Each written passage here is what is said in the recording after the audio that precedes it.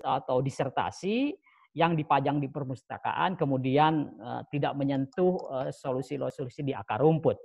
Uh, kita semua harus introspeksi diri termasuk saya saya kira dalam hal ini jangan-jangan hasil-hasil riset yang saya tulis yang saya lakukan hanya untuk bisa terendek di Scopus Q1, Q2, memenuhi persyaratan guru besar lain sebagainya, sehingga ada celetukan yang uh, nyinyir bahwa riset-riset yang terpublikasi di jurnal-jurnal internasional hanya dibaca oleh tiga kelompok orang. Oleh penulisnya, karena berbulak-balik dalam menulis, oleh editorial board, dan yang terakhir ada oleh reviewer. Ketika dipublikasikan, dia tidak menyentuh pengabdian kepada masyarakat. Nah, karenanya saya kira CBR, Community Based Research, perlu terus dikembangkan. Karena itu maka uh, uh, ini tentu saja ini bukan berarti bahwa kita tidak perlu menulis di jurnal bereputasi. Tentu itu penting, tetapi supaya kemanfaatannya bukan hanya untuk individu atau uh, individual benefit, saya kira riset-riset itu selain dipublikasikan di jurnal bereputasi harus harus bisa menyentuh permasalahan-permasalahan publik di akar rumput. Karenanya sekira dengan webinar ini mudah-mudahan nanti kita dengarkan ide-ide segar dari para pembicara terkait dengan tren dan strategi riset sosial kekinian, bagaimana tren itu merespon uh, kebutuhan masyarakat di era disrupsi.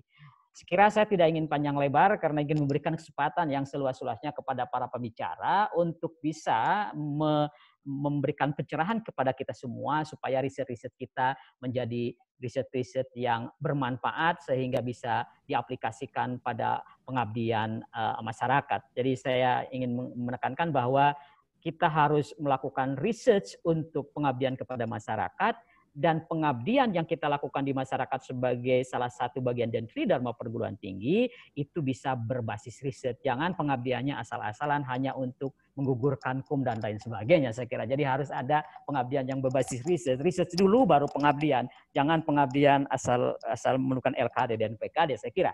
Sekira itu saja yang bisa saya sampaikan. Kurang lebihnya mohon maaf. Tentu saya akan terus eh, memonitor sambil eh, mengerjakan yang lain tetapi uh, uh, komputer saya akan terus on dan mendengarkan ide-ide segar dari para pembicara.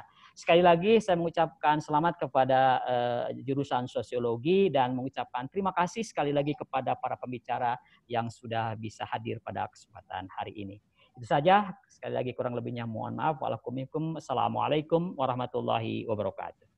Waalaikumsalam warahmatullahi wabarakatuh. Terima kasih Pak atas sambutan dan pembukaannya. Kita sudah mendapatkan pengantar yang sudah sangat tajam sekali mengkritik kita semua.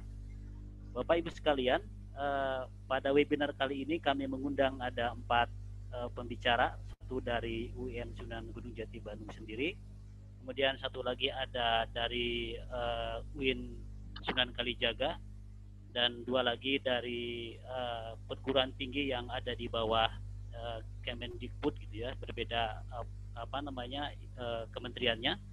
Nah ini tentu saja akan menjadi kombinasi yang sangat menarik. Jadi akan mendengarkan dua uh, apa namanya muzakaroh bainal sunanain. Jadi muzakaroh antara dua sunan ini rupanya ada Sunan Gunung Jati dan ada Sunan Kalijogo. Nanti akan bersilaturahmi dan kemudian nanti akan berdialog dengan dua jenderal ada Jenderal Sudirman dan juga ada uh, Pati Gajah Mada di Jogja. Hmm. Insya Allah nanti akan menciptakan satu apa namanya conversation ide-ide yang sangat menarik karena ada dua Sunan ini Sunan Kalijaga dan Sunan Gunung Jati dan juga ada Jenderal Sudirman, ada Mbak Tias di situ, kemudian ada Mas Hakim Ikhwan dari uh, Gajah Mada.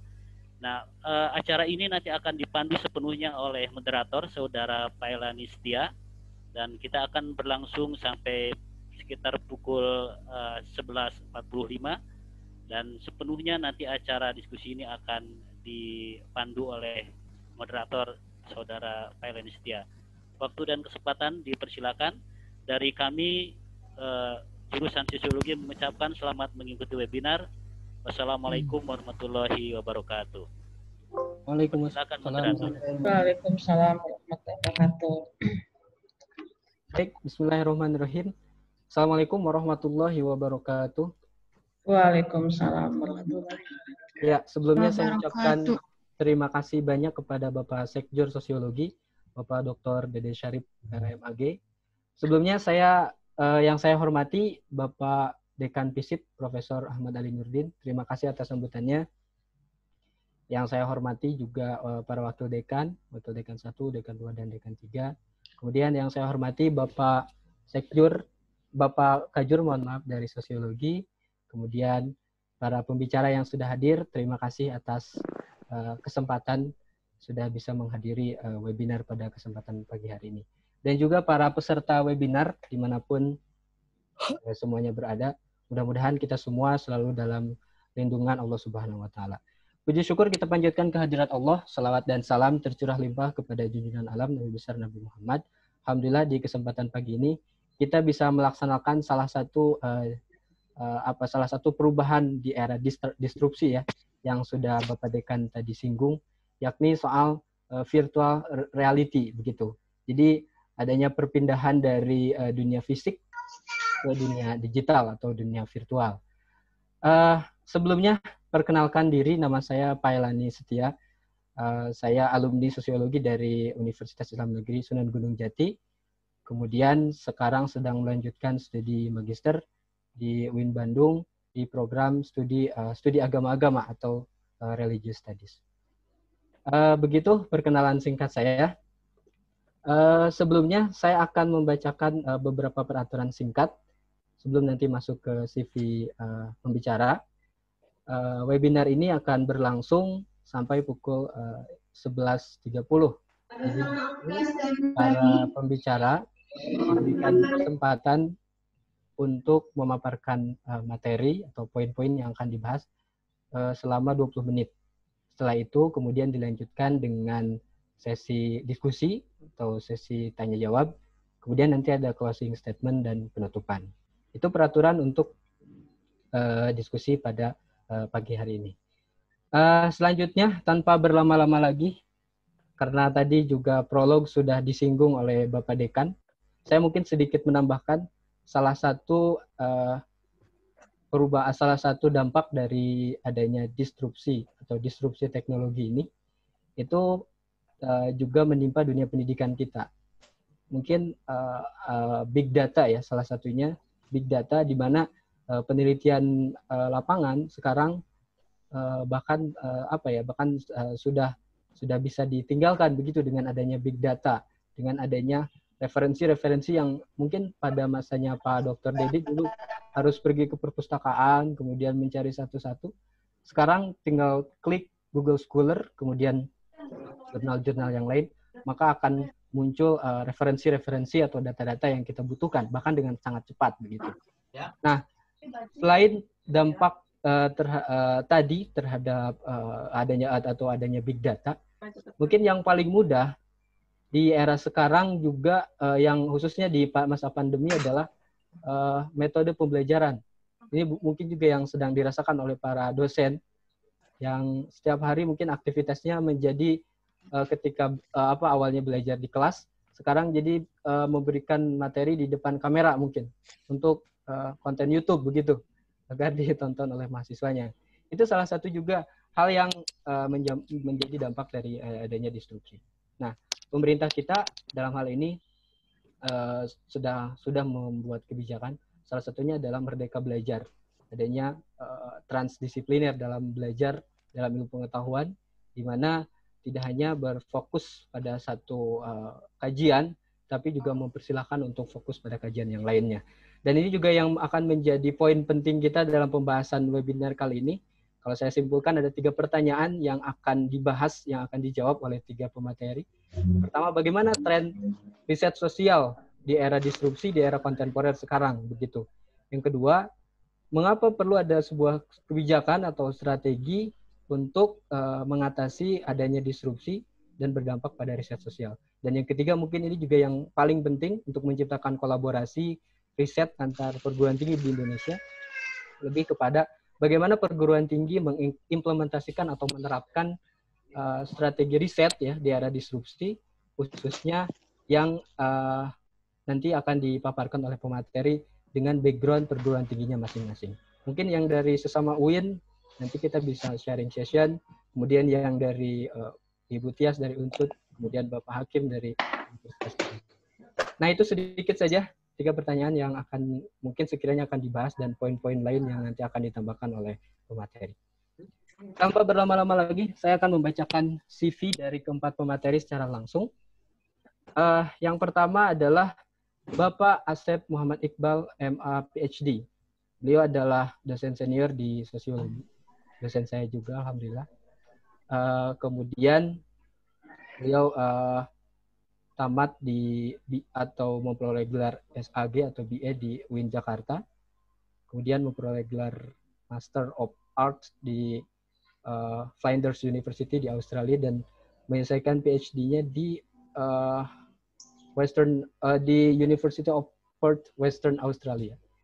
Uh, beliau juga sangat uh, ahli di bidang riset atau beliau sangat tertarik dengan riset di bidang agama dan media salah satu tulisannya yang uh, seperti saya baca juga berkaitan dengan adopsi media baru. Ini beliau menggunakan metode uh, observasi online dalam tulisannya, yaitu tentang gerakan sosial uh, Salafi di, di Indonesia. Beliau juga sudah menerbitkan book chapter yang terbaru di Routledge kalau tidak salah mungkin itu berjudul dengan berjudul Challenge uh, Moderat Islam ini. Nah, itu yang pertama Bapak Asep Muhammad Iqbal. CV singkatnya saja. Yang kedua, nanti pemaparan materi akan diisi oleh Ibu Dr. Tias Retno Wulan, MSI. Dia adalah Ketua Jurusan Sosiologi di Universitas Jenderal Sudirman, Unsud. Lahir pada 3 September 1971. Beliau adalah salah satu ahli di bidang sosiologi dan gender. Termasuk tulisan tulisannya yang terbaru, saya lihat di Google Scholar, membahas tentang kemandirian perempuan di uh, dalam uh, program ketahanan keluarga di Purwokerto, Kabupaten Banyumas. Beliau menyelesaikan S1 di Universitas Jenderal Sudirman jurusan Sosiologi, kemudian melanjutkan program magister di Universitas Gajah Mada jurusan Sosiologi, dan yang menarik di program doktornya PhD di S3, beliau melanjutkan ke Institut Pertanian Bogor mengambil uh, jurusan atau program studi sosiologi perdesaan. Nah, itu yang kedua. Kemudian yang ketiga, Bapak Dr. Ahmad Salehuddin MA. Beliau adalah dosen di Universitas Islam Negeri Sunan Kalijaga Yogyakarta. Beliau melanjut beliau uh, lulus atau menyelesaikan program S1 di perbandingan agama. Mungkin sekarang studi agama-agama sama seperti uh, UIN Bandung begitu. Kemudian melanjutkan S2 di uh, eh, CRCS ya, Center for Religious and Cross Cultural Studies di UGM begitu. Dan beliau melanjutkan atau memperoleh gelar doktor juga sama atau pada program uh, Interreligious Studies di Pasca Sarjana UGM. Salah satu buku yang banyak dikutip kalau saya lihat dari Pak Ahmad Soleh Sudin ini adalah berjudul Satu Dusun, Tiga Masjid, Anomali Ideologisasi Agama dalam Agama. Yang terakhir uh, pembicara yang keempat adalah Bapak Hakimul Ikhwan PhD. Lahir di Bengkulu 22 Juli 1978. Kemudian uh, beliau menyelesaikan jenjang pendidikannya di S1 Sosiologi Universitas Gajah Mada. Kemudian MA Master of Art di bidang politik dan kebijakan sosial University of Nottingham United Kingdom di Inggris. Dan yang ketiga, beliau menyelesaikan uh, PhD-nya di jurusan Sosiologi University of Essex United Kingdom juga di Inggris. Nah, salah satu tulisannya yang menarik yang saya baca juga di Guru Scholar tentang uh, peran pemimpin agama dan agama dalam uh, memerangi pandemi COVID-19. Ini adalah tulisan terbaru beliau uh, yang saya baca juga. Nah, alhamdulillah CV pembicara sudah saya bacakan satu sampai keempat tanpa berlama-lama lagi. Langsung saja saya akan mengundang Bapak yang terhormat Bapak Asep Muhammad Iqbal PhD. Assalamualaikum. Waalaikumsalam. Oh, Oke. Okay. Siap. Pak Asep ini juga beliau sebagai editor in chief ya Pak di Journal of Asian Social Sciences di uh, Social Science Research di UIN ya Pak ya di FISIP. Iya, iya, iya. Ya, senang sekali Bapak bertemu dengan Bapak. Oke, okay, bagus. Ya. Meskipun secara virtual begitu. Ya, uh, terima kasih uh, langsung saja kita akan menyimak pemaparan materi yang akan dibahas oleh Bapak Asep Muhammad Iqbal. Waktu dan tempat uh, disilakan. Oke, uh, Assalamualaikum warahmatullahi wabarakatuh. Waalaikumsalam warahmatullahi wabarakatuh. Waalaikumsalam warahmatullahi wabarakatuh. Oke. Alhamdulillahirrabbilalamin Wassalatu wassalamu ala Sayyidina Muhammad wa ala alihi wa ajma'in Saya merasa terhormat dan bahagia dapat hadir di webinar yang sangat penting dan menarik ini. Karena itu saya ucapkan terima kasih kepada panitia yang sudah mengundang saya untuk hadir berkontribusi ber, uh, berbagi pandangan dan ide mengenai topik riset perkembangan riset yang ada di di era of disruption ini. Terima kasih moderator sudah uh, mempersilahkan saya. Oke. Terima kasih juga sampai selamat berjumpa kepada semua hadirin yang sudah hadir di webinar pagi ini. Secara khusus saya ingin mengucapkan salam kenal kepada para pembicara yang lain. Ya, pertama Dr. Tias Retno Wulan dari Universitas Sudirman, kemudian Dr. Ahmad Salehudin dari UIN Sunan Kalijaga, oke, okay. dan juga kepada Hakimul Ikhwan PhD dari UGM. Salam kenal, mudah-mudahan kita bisa bertemu kembali dan berkolaborasi yang fruitful collaboration ya begitu. Mudah-mudahan tidak hanya ketemu saja di, di di webinar ini, tapi kita bisa bertindak lanjut dengan di, di, di misalnya bisa sama menulis. Khususnya tadi saya menarik dengan karyanya Pak Ahmad Salihudin yang disebut oleh Pak Ilani tadi, satu dusun tiga masjid ya. Kebetulan nih di kampung saya di sini di dekat rumah saya ada juga seperti itu kasusnya ya. Saya ingin akan juga akan kaji juga dengan merujuk kepada karya Pak Ahmad. Oke. Oke. Oke. Terima kasih, terima kasih. Uh, iya, iya. Oke, okay. uh, tema webinar kali ini Webinar kali ini sangat menarik mengenai tren dan perkembangan dan geopolisi riset di era di era of disruption. Oke, okay, uh, eh, saya tidak akan langsung membahas tema kajian saya ke, ke tema itu, ke tema spesifik itu.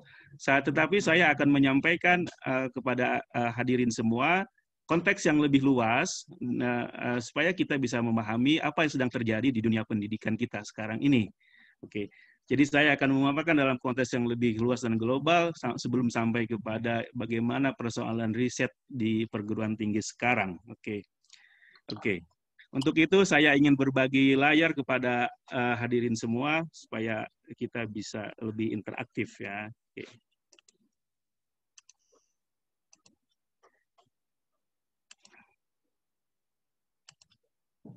Okay.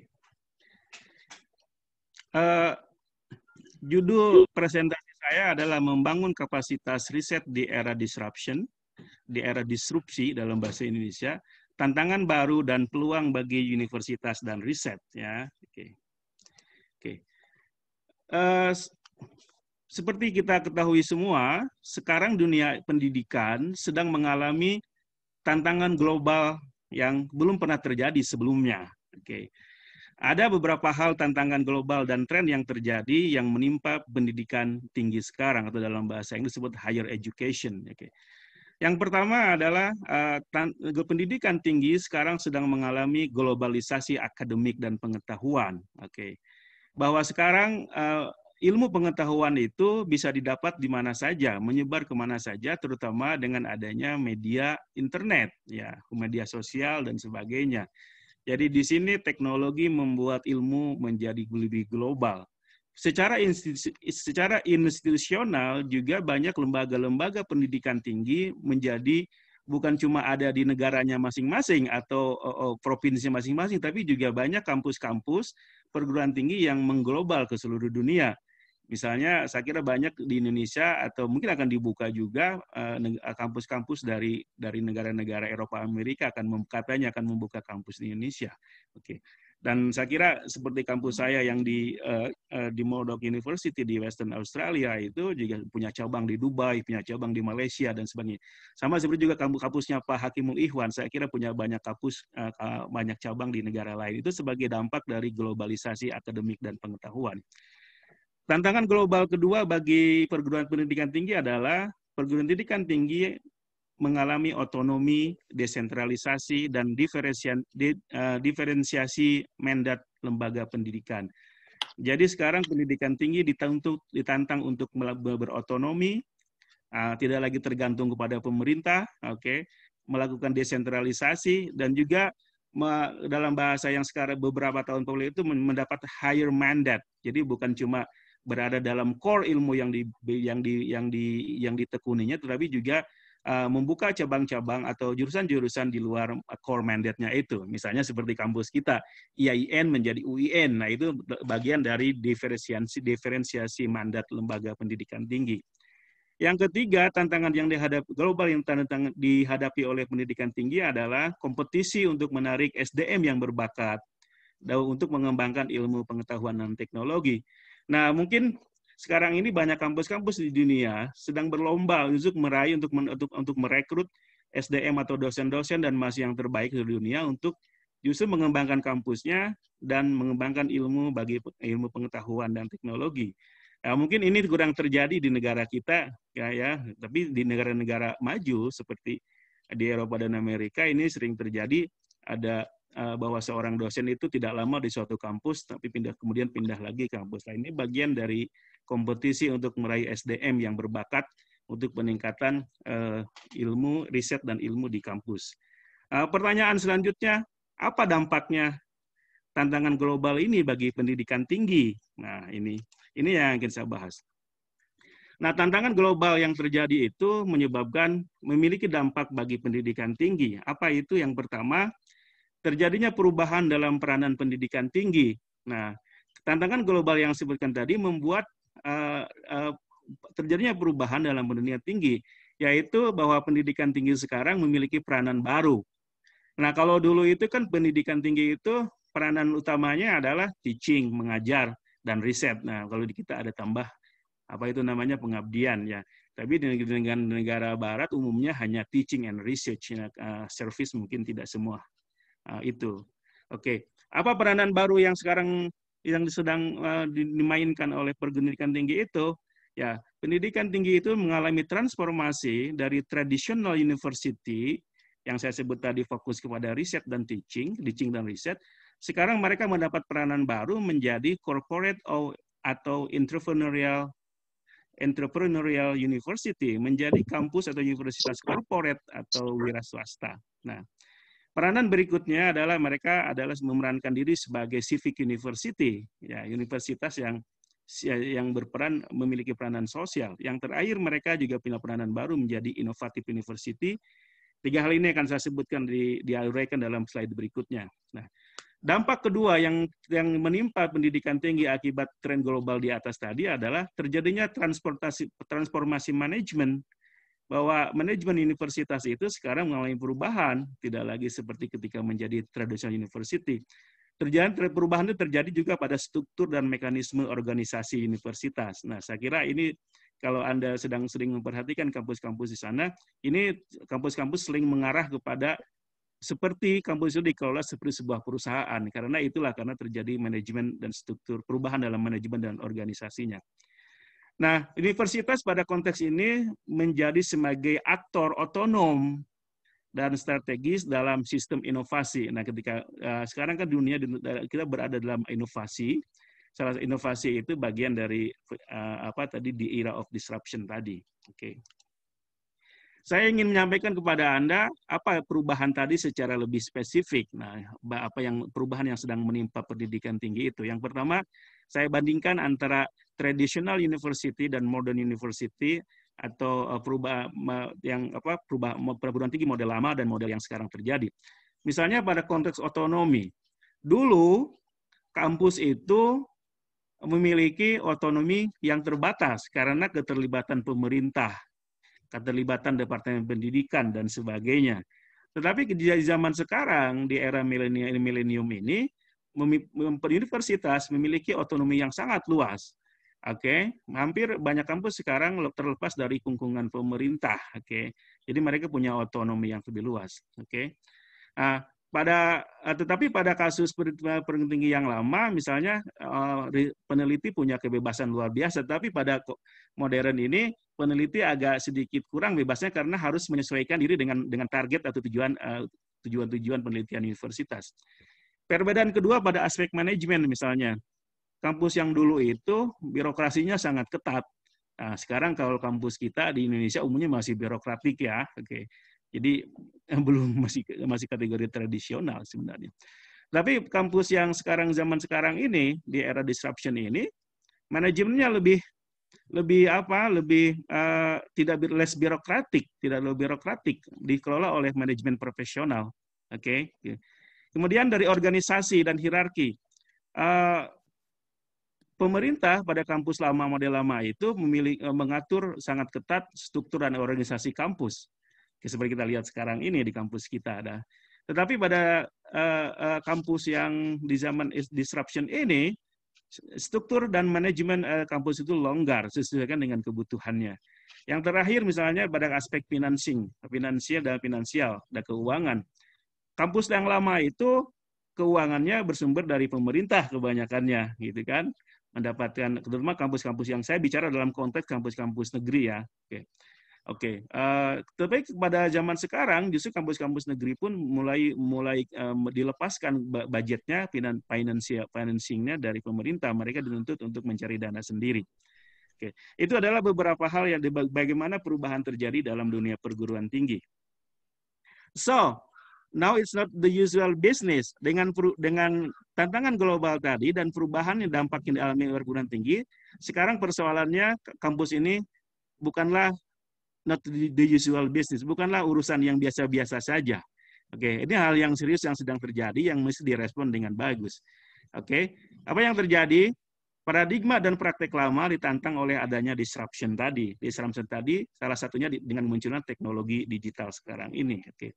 Apa itu disruption atau disrupt itu disturbance or problem. Kalau kita kira sering bicara tentang disruption, apa itu disruption? Disruption itu semacam gangguan atau problem yang muncul yang mengganggu apa yang sedang terjadi gitu ya disebut gangguan tapi bisa juga dalam konteks lebih luas disruption itu adalah perubahan yang radikal terhadap uh, misalnya industri atau market yang ada yang berasal dari inovasi teknologi karena itu uh, dunia perguruan tinggi itu perlu beradaptasi untuk survive dan thrive. Nah, dengan perubahan yang tadi supaya bisa survive dan thrive, maka Salah satu cara yang yang saya kira salah satu caranya untuk bisa survive tribe itu pendidikan tinggi harus melakukan adaptasi terhadap perubahan yang ada. Oke. Bagaimana sebagusnya sebaiknya perguruan pendidikan tinggi itu merespon perubahan global di atas tadi? Nah, saya jawaban saya adalah perguruan tinggi, pendidikan tinggi harus membangun apa yang disebut dengan knowledge triangle sebagai kerangka fundamental mereka dalam upaya mereka merespon dan beradaptasi bagi Eh, terhadap perubahan global yang terjadi. Saya istilah knowledge triangle ini saya merujuk kepada karya Unger et al. tahun 2016 dalam artikelnya New Challenges for Universities in the Knowledge Triangle. Apa itu knowledge triangle? Dalam bahasa kita diterjemahkan menjadi segitiga pengetahuan. Maksudnya apa? Bahwa eh, pendidikan tinggi mesti membangun apa yang disebut dengan knowledge triangle, yaitu bahwa mereka mesti membangun link yang integral antara lembaga pendidikan tinggi, sektor bisnis, dan masyarakat. Nah, oke. Okay. Nah ini eh, segitiga pengetahuan ini mesti dipahami dengan baik oleh pendidik supaya bisa survive di tengah tantangan global ini. Mereka mesti memahami bahwa tiga hal ini tidaklah terpisah, justru bersaling tergantung dan saling mempengaruhi. Nah, karena itu kebijakan di pemerintah dan universitas mesti diarahkan kepada bagaimana membuat linking jaringan uh, keterkaitan atau kolaborasi antara sektor pendidikan tinggi, sektor bisnis, dan masyarakat. Nah, di sini aktor utamanya ada tiga. Universitas jelas, kemudian juga ada government, pemerintah, dan eh, orang-orang bisnis atau enterprise. Oke, nah dengan menggunakan uh, paradigma knowledge triangle tadi, perguruan tinggi sekarang memiliki peranan baru, yaitu sekarang apa, pendidikan tinggi mesti memainkan peran sebagai corporate atau entrepreneurial university yang yang lebih dekat uh, kepada sektor bisnis. Apa maksudnya? Jadi dalam konteks ini perguruan tinggi, pendidikan tinggi mesti melakukan transformasi universitas dalam manajemen, struktur organisasi dan mekanisme organisasi Ya, tidak boleh, tidak bisa lagi zaman sekarang perguruan tinggi hanya atau sebuah kampus memainkan manajemen model lama. Sekarang mereka harus membangunnya seperti mereka mengelola sebuah sebuah corporate atau sebuah perusahaan di mana otonom lebih otonom. Di mana universitas menjadi lebih otonom dan e, orang-orang leader atau rektor dan sebagainya itu menggunakan aktor strategis dalam sistem inovasi. Nah, di sini ketika menjadi corporate university, kampus atau universitas eh, terlibat dalam transfer ilmu dan teknologi, oke, okay? dan terlibat juga dalam komersialisasi ilmu dan teknologi, oke. Okay. Nah, peranan yang kedua yang mesti dimainkan oleh perguruan tinggi dalam konteks knowledge triangle tadi adalah universitas memilih, harus memainkan peranan baru sebagai civic university. Nah, itu maksudnya apa? Nah, kalau yang pertama eh, terlibat dalam sektor memainkan peranan sebagai sektor bisnisnya, yang kedua ini jangan lupa nih bahwa kampus juga sekarang punya punya punya kewajiban namanya social role, peranan sosial. Bahwa eh, pengelola kampus mesti meningkatkan penekanan pada peranan sosial universitas, terlibat dalam bagaimana menyelesaikan persoalan sosial di masyarakat yang sedang berkembang ini. Universitas berperan sebagai penyedia kebutuhan publik, ya. Universitas juga sebagai pemberi solusi bagi tantangan dan persoalan masyarakat. Nah, dalam konteks ini, uh, universitas mesti memainkan peran yang penting, memberikan uh, solusi bagi persoalan masyarakat. Misalnya, apa sih yang terjadi dalam masyarakat sekarang ini? Contohnya, misalnya masyarakat sekarang ini uh, dalam masyarakat barat, misalnya ada aging population, masyarakat sedang menua. Apa sih solusi yang diberikan oleh universitas bagi persoalan ini? Kemudian juga bagi masalah uh, uh, sustainable energy, energi yang ber, berkelanjutan, apa yang bisa diberikan oleh universitas dalam mengatasi persoalan ini dan juga misalnya dalam uh, mobilitas dan sebagainya. Oke. Nah, how to survive and thrive in the era of disruption. Nah, bagaimana bisa survive dan thrive di era disrupsi ini? Nah, dalam konteks ini, universitas harus melakukan strategi-strategi baru untuk bisa survive di tengah perubahan global yang sangat masif ini. Apa? dalam dalam pandangan saya untuk bisa survive dan thrive di era disruption ini universitas tidak bisa hanya memainkan peranan lama saja. Nah, dalam konteks ini satu pemerintah mesti menjadi inovatif university. Nah, itu menjadi inovatif university atau universitas yang inovatif. Nah, yang kedua ini kaitannya dengan topik kita di hari ini adalah universitas mesti membangun namanya inovatif research atau riset yang inovatif. Nah, pada dua hal tadi, key ingredient-nya, key ingredient-nya atau atau atau bahan utamanya adalah innovation, inovasi. Oke, okay. apa itu inovasi? Inovasi itu uh, produksi atau adopsi atau asimilasi atau eksploitasi nilai baru dari sebuah nilai baru dari sebuah produk gitu. Atau pembaruan atau uh, pembaruan dari sebuah produk atau layanan atau market. Pengembangan dari metode metode baru, produksi dan sebagainya dan juga pengembangan manajemen sistem yang baru yang ini melibatkan proses dan juga outcome. Nah, inilah yang disebut dengan yang sering kita sebut-sebut dengan the era of disruption tadi, era disrupsi. Nah, inovasi ini biasanya membawa disrupsi terhadap universitas dalam model lama atau tradisional. Oke. Nah, saya ingin fokus kepada uh, strategi bagaimana bisa survive dan thrive di era disruption ini. Satu, inovatif university ya. Nah, bagaimana menjadi inovatif inovatif university itu? Nah, perguruan tinggi sekarang mesti menjadi inovatif university dalam kerangka knowledge triangle tadi. Tidak memisahkan antara universitas sebagai lembaga pendidikan, sebagai sebagai riset, dan sebagai uh, lembaga bisnis dan sebagai uh, uh, masyarakat, orang yang peduli terhadap masyarakat. Nah, di sini dalam konteks ini universitas mesti menjadi pendorong inovasi orang yang ter, pihak yang terdepan sebagai innovation drivers, sebagai pendorong inovasi. Bagaimana caranya? Dalam konteks ini, universitas untuk bisa survive ini di zaman uh, untuk menjadi inovatif university, universitas harus mengganti harus mengganti DNA-nya. Nah, DNA yang lama itu universitas biasanya uh, fokus kepada teaching, fokusnya gitu kan, pengajaran, riset pun riset yang tidak terarah, yang ya dan sebagainya. Nah, sekarang harus rubah DNA itu untuk menjadi innovative university. Nah, ini ada dalam bukunya Clayton Christensen dan Henry J. Eyring, ya, The Innovative University, Changing the DNA of Higher Education from the Inside Out. Oke, itu yang pertama. Yang kedua, universitas mesti sediakan anggaran besar untuk research dan development Nah, ini uh, masih sangat jauh di kampus kita ya, walaupun ada upaya-upaya bagus dari pemerintah kita untuk menyediakan anggaran riset dan development yang bagus.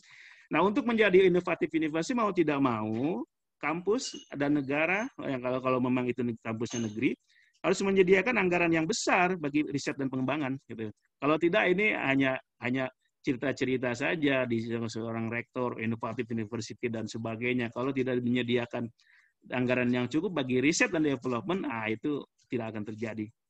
Yang ketiga, nah ini untuk mendukung inovasi university, eh, kampus, universitas, perguruan tinggi mesti investasi besar yang serius dalam physical spaces, artinya ruang-ruang fisik yang mendukung kreativitas para peneliti. Maksudnya, sediakanlah fasilitas yang lengkap bagi para peneliti itu dari mulai lab, dari mulai uh, apa sarana pendukung penelitian dan sebagainya dan sebagainya. Jadi jangan diharapkan ada muncul kreativitas dari para peneliti ini kalau tidak disediakan fasilitas yang yang memadai. Saya kira uh, bukan Anda mungkin sering pernah sering dengar bahwa banyak orang Indonesia yang studi dari luar negeri nggak balik lagi. Ya, jangan dikira mereka tidak tidak nasionalisme, tidak. Mereka mungkin karena nggak balik ke Indonesia karena tidak ada fasilitas untuk riset mereka atau kurang penghargaan dari kampusnya dan negaranya sehingga mereka lebih memilih Eh, kampus di negara lain atau bekerja di perusahaan asing yang lebih menghargai skill mereka. Oke. Yang terakhir, yang keempat, nah untuk menjadi inovatif university, kampus itu harus bangun kerjasama dan kemitraan jangka panjang dengan industri atau namanya industry partnership. Nah untuk bisa ini, untuk bisa menjadi inovatif university, pimpinan kampus itu mesti bangun nih kerjasama dengan lembaga-lembaga swasta, lembaga industri, Nah, dengan industri mereka eh, kampus bisa mendapatkan eh, financial support yang memadai dan juga eh, perusahaan atau industri bisa mendapatkan cutting edge research penelitian yang mutakhir sehingga bisa dikembangkan oleh perusahaan itu untuk kepentingan bisnis mereka. Oke. Oke. Nah, yang kedua untuk bisa survive dan thrive itu kampus harus melakukan inovatif university, inovatif research Nah, selama ini kan riset-riset di kampus kita ini seperti tadi dikutip oleh Pak Dekan juga, itu biasa-biasa saja kan, nah, seperti itu. Nah, dalam konteks uh, bisa menghadapi era disrupsi ini, se, uh, uh, apa polisi atau kebijakan riset itu tidak boleh biasa-biasa saja, harus mengembangkan apa yang disebut dengan innovative research yang searah tadi dengan innovative university. Apa? Bagaimana caranya? Dalam konteks ini, universitas mesti membangun innovative research dalam rangka yang tadi knowledge triangle, lembaga pendidikan, bisnis dan masyarakat. Ini harus harus tergabung nih dalam riset ini. Ketika dalam membuat sebuah riset kebijakan riset atau atau risetnya mesti tiga hal ini ter, ter, terhubungkan kepentingan akademik uh, uh, kampus, kepentingan masyarakat dan kepentingan bisnis. Ini mesti linking, mesti interconnected. Nah, riset, baik itu natural sciences atau social sciences, tidak boleh terpisah dari pengajaran atau akademik, tidak boleh terpisah dari bisnis, dan tidak boleh terpisah dari kepentingan masyarakat. Jadi tiga hal ini harus connected untuk menunjukkan bahwa kita adalah universitas yang inovatif dan riset kita adalah inovatif. Bagaimana cara menuju sana? Menurut saya adalah riset kita harus satu berpola pendidikan riset, pendidikan ke arah riset. Maksudnya apa? Dimulai dari pendidikan dulu. Tapi maksudnya di sini pendidikan adalah pengajaran ya. Jadi pengajaran yang dilakukan oleh dosen itu harus research informed teaching. Jadi pengajaran dosen itu harus di, di, di berbasis atau diinformasi oleh riset. Maksudnya apa? Ketika kita mengajar kepada mahasiswa, kita harus berdasarkan uh, sampaikan kepada mereka riset-riset mutakhir tentang topik yang kita bahas. Nah, dan juga uh, pengajaran mahasiswa terlibat kita ajak dalam dalam riset-riset proyek real dan relevan sehingga bisa memberikan solusi bagi kepentingan masyarakat. Sejauh ini kan yang sering terjadi, dan saya alami sendiri juga, ngajar kita ini kan hanya uh, itu-itu saja, nggak ada dari tahun ke tahun ya. Sejarang kita melibatkan uh, menunjukkan riset-riset mutakhir kepada mahasiswa atau melibatkan mereka dalam riset.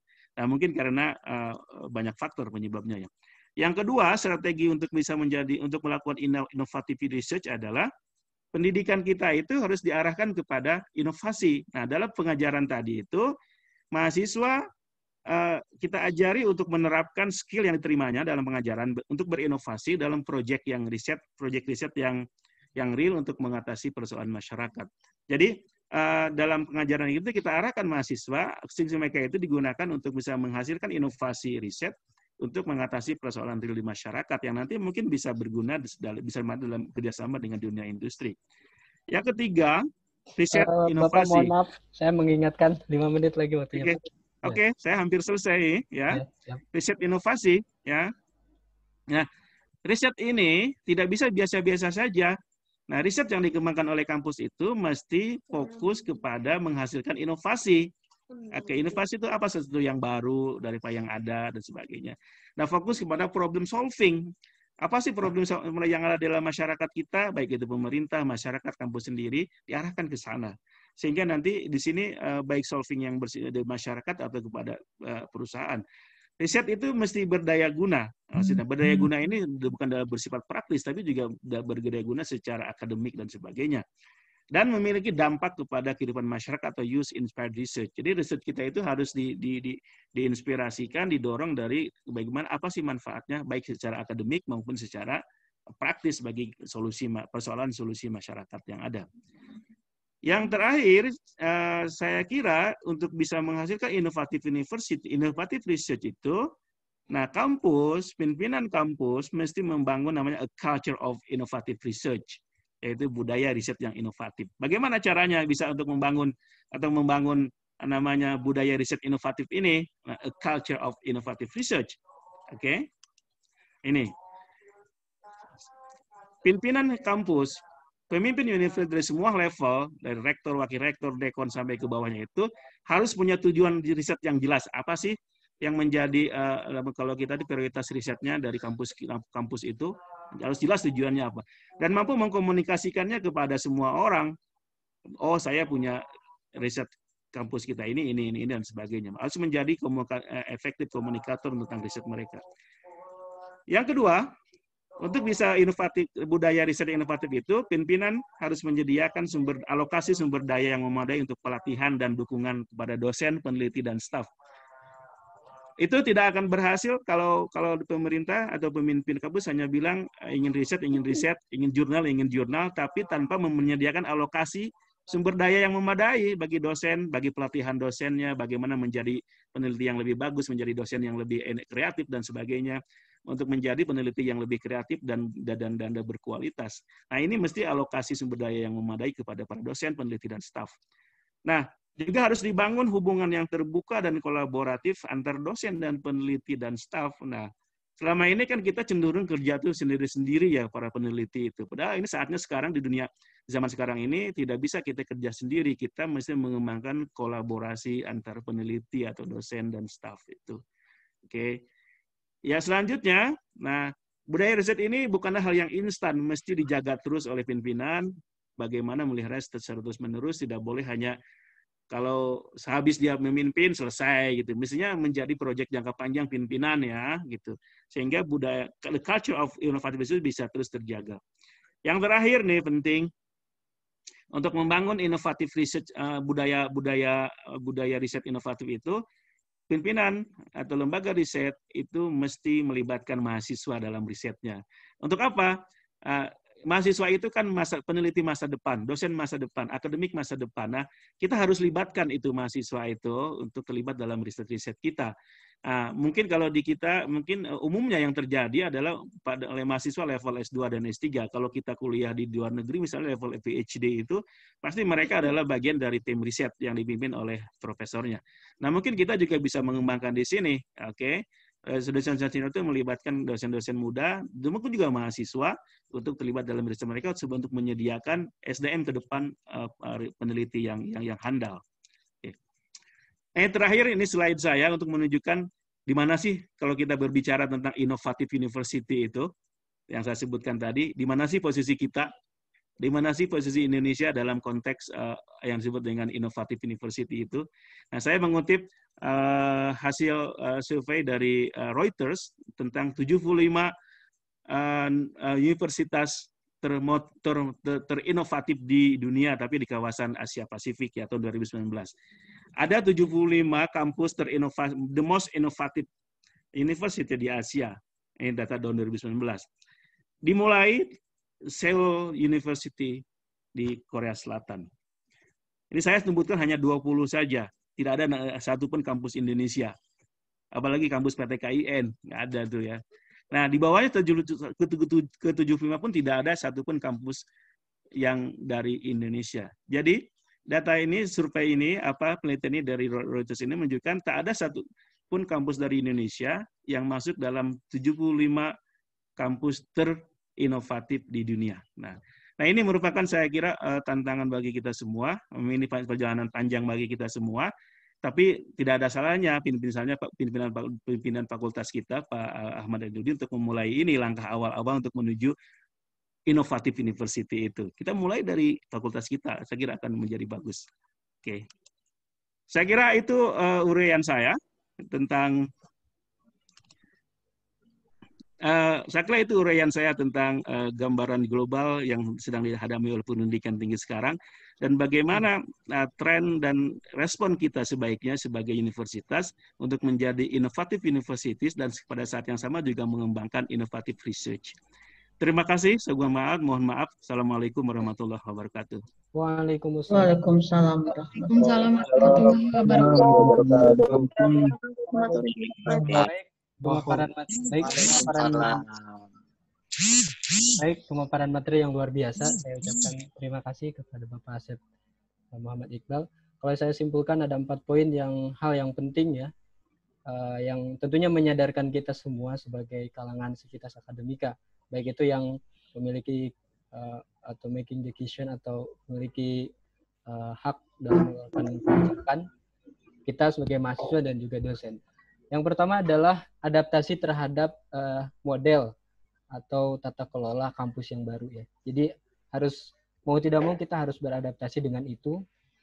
Kemudian kita juga harus menentukan goal atau tujuan yang jelas mau seperti apa begitu. Kalau misalkan kampus yang inovatif, goalnya itu seperti apa gitu. Dan ini juga perlu poin yang ketiga itu integrasi antar segala lini ya, khususnya tadi yang saya singgung baik itu pimpinan, kemudian juga dosen, kemudian mahasiswa semuanya juga harus integrasi. Dan yang terakhir adalah uh, latensi atau bagaimana upaya pemeliharaan terhadap uh, kultur baru kita di kampus di perguruan tinggi ini akan tetap bertahan sehingga ya mungkin saja uh, 10-20 tahun ke depan Indonesia sudah bisa bersaing ya minimal dengan negara-negara di ASEAN lah seperti itu. Ya terima kasih kepada Bapak Asep Muhammad Iqbal. Uh, selanjutnya Uh, sebelumnya saya mohon maaf kepada semua peserta untuk berhati-hati ya terhadap uh, layar, apalagi yang menggunakan uh, handphone. Itu tadi yang muncul coretan-coretan seperti itu biasanya tidak disengaja begitu di handphonenya begitu. Jadi agak uh, sangat sensitif terhadap layar. Jadi mohon maaf untuk berhati-hati begitu, khususnya di handphone. Terus yang kedua mungkin uh, di lima menit terakhir saya juga memohon maaf kepada Ibu Tias, Bapak Ahmad, dan juga Bapak Hakim, saya akan memotong pembicaraan dengan mengingatkan waktu begitu seperti tadi. Ya, baik. Uh, selanjutnya pemaparan materi yang kedua akan disampaikan oleh uh, Ibu Dr. Uh, eh, Tias sebentar. Ya, Ibu Dr. Tias Retnowulan MSI, Ketua Jurusan Sosiologi Un Universitas Jenderal Sudirman. Waktu dan tempat saya uh, disilakan. Silakan Ibu. Oke. Ya, terima kasih Mas moderator. Selamat pagi semuanya. Assalamualaikum warahmatullahi wabarakatuh. Waalaikumsalam warahmatullahi wabarakatuh. Uh, yang saya hormati Pak Dekan tadi bergabung. Jadi kalau saya nyebutnya AA gitu ya. Kalau tempat saya ada dosen dari dari sudah disebutnya dipanggilnya AA. Ini semuanya AA AA gitu ya ada AA Kajur, Pak Kustana, kemudian ada AA Sekjur tadi sudah menyapa, Ma AA Dede Sarip. Kemudian teman-teman, kayaknya saya paling tua nih di antara para pembicara semua gitu ya nggak apa-apa lah. Tadi sengaja sama Mas Faya disebutkan tanggal lahirnya jadi kelihatan saya paling tua di antara empat narsum yang lain. Ya uh, jadi uh, hari ini saya akan diskusi tapi mungkin lebih pengalaman best practice gitu ya kebetulan kemarin saya tanya sama Mbak Rini akreditasinya masih B ya di uh, sosiologi apa namanya UIN jadi nanti kita diskusi saja kebetulan saya juga sebagai saya akan diskusikan kebetulan saya adalah asesor. Jadi nanti saya akan diskusikan mengkaitkan antara penelitian kemudian dengan eh, apa namanya bagaimana kebijakan akreditasi yang baru plus nanti bagaimana saya saya sebagai kajur di sosiologi menghandle penelitian di tempat kami. Begitu kira-kira harapan saya moga-moga sih sesuai dengan yang diharapkan oleh teman-teman. Ya, eh, saya akan ya uh, saya judulnya adalah best practice di unsur.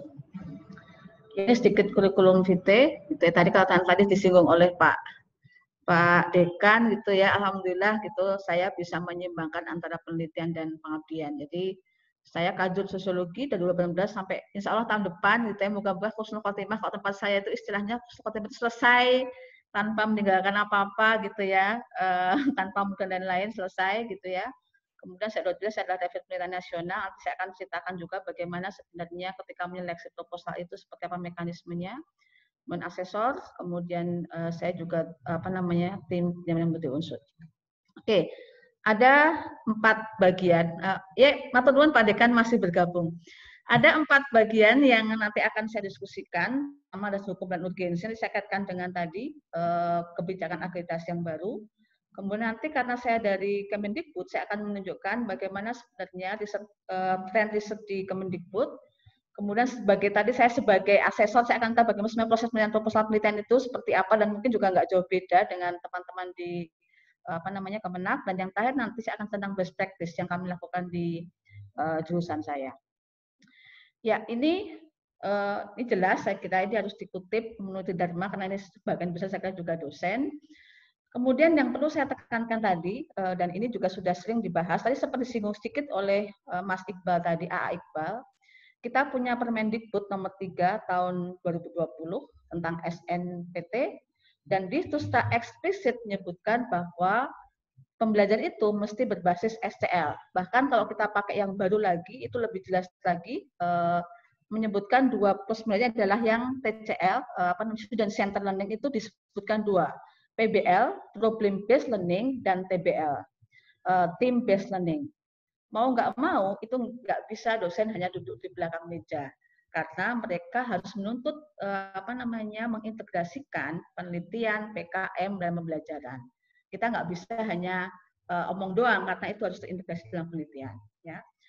Kemudian uh, ada perubahan PT, nanti akan saya singgung sedikit tentang instrumen APS yang baru, yang sedang kriteria, dan beberapa juga sudah mulai eh, apa namanya gaspol untuk bisa unggul gitu ya. Nanti kita lihat bagaimana di situ yang namanya sekarang penelitian itu tidak hanya sekedar jumlah tadi sempat disinggung juga tadi ya. Kalau itu udah wajib hukumnya. Kalau di saya nggak tahu kalau di Kemenak, tapi kalau kita ikut as, uh, perban itu wajib hukumnya menyertakan mahasiswa dalam penelitian dosen. Bukan sebagai enumerator, tapi bagian dari tugas akhir.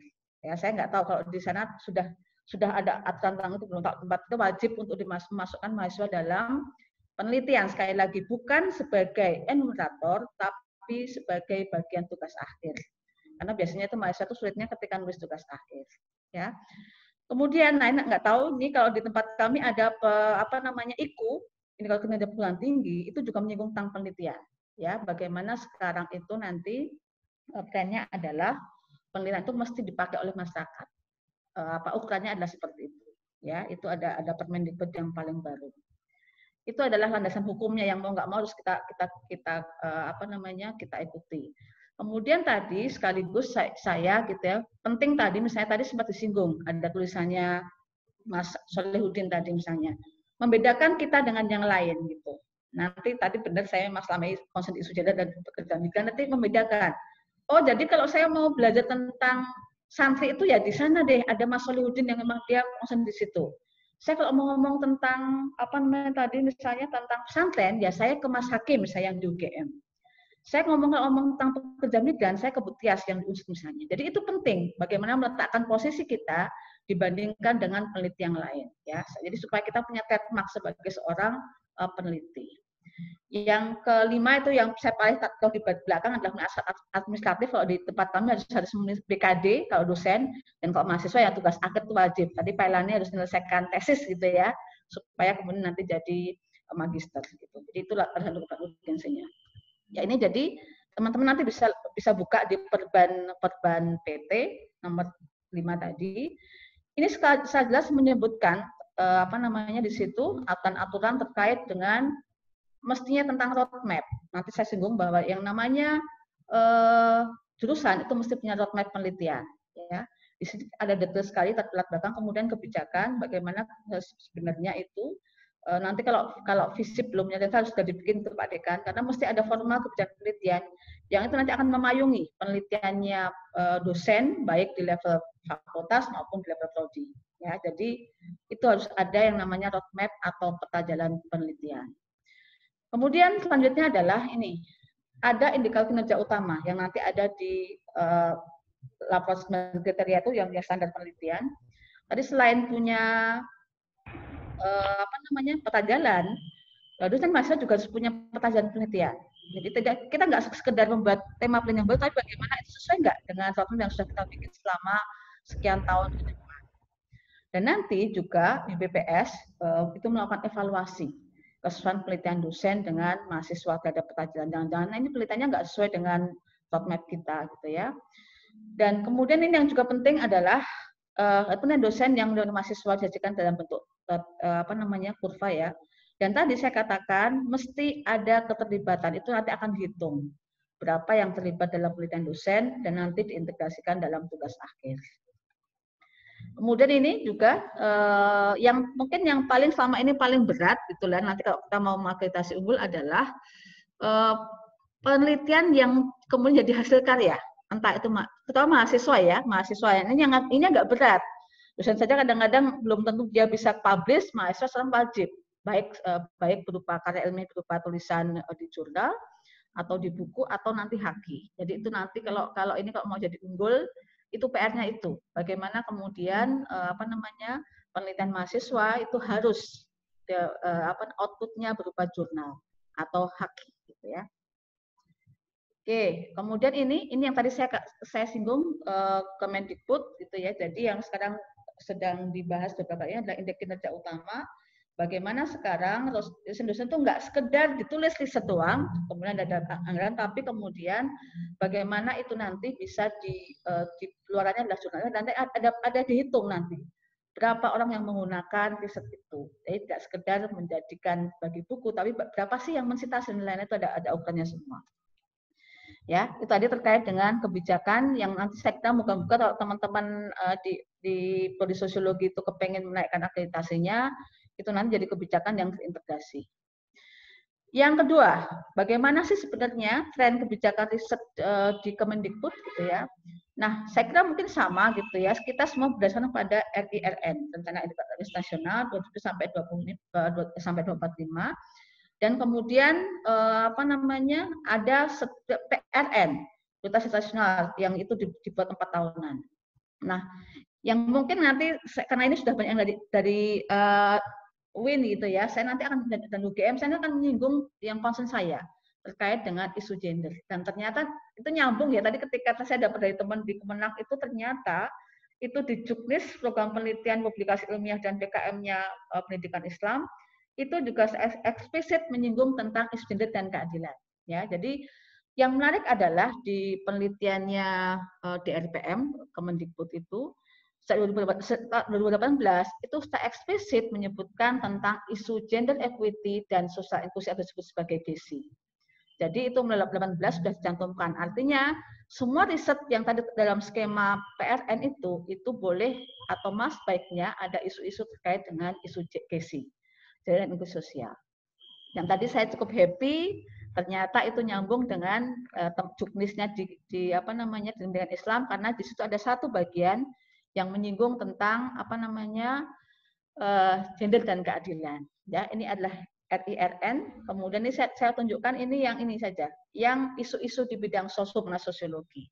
Ya, di situ ada di soshum pendidikan untuk uh, tema PRN 2024 itu adalah ada tema sumber daya manusia yang cerdas, sehat dani dan berdaya saing tinggi. Ini kalau bisa-bisa juga masih isu sosiologi pekerjaan, industri era uh, 4.0. Uh, Kemudian ada kebijakan sistem politik, demokrasi dan otonomi desa. Ini kalau yang senang dengan isu desa, ini sektor banyak sekali dan itu terbuka sangat luas.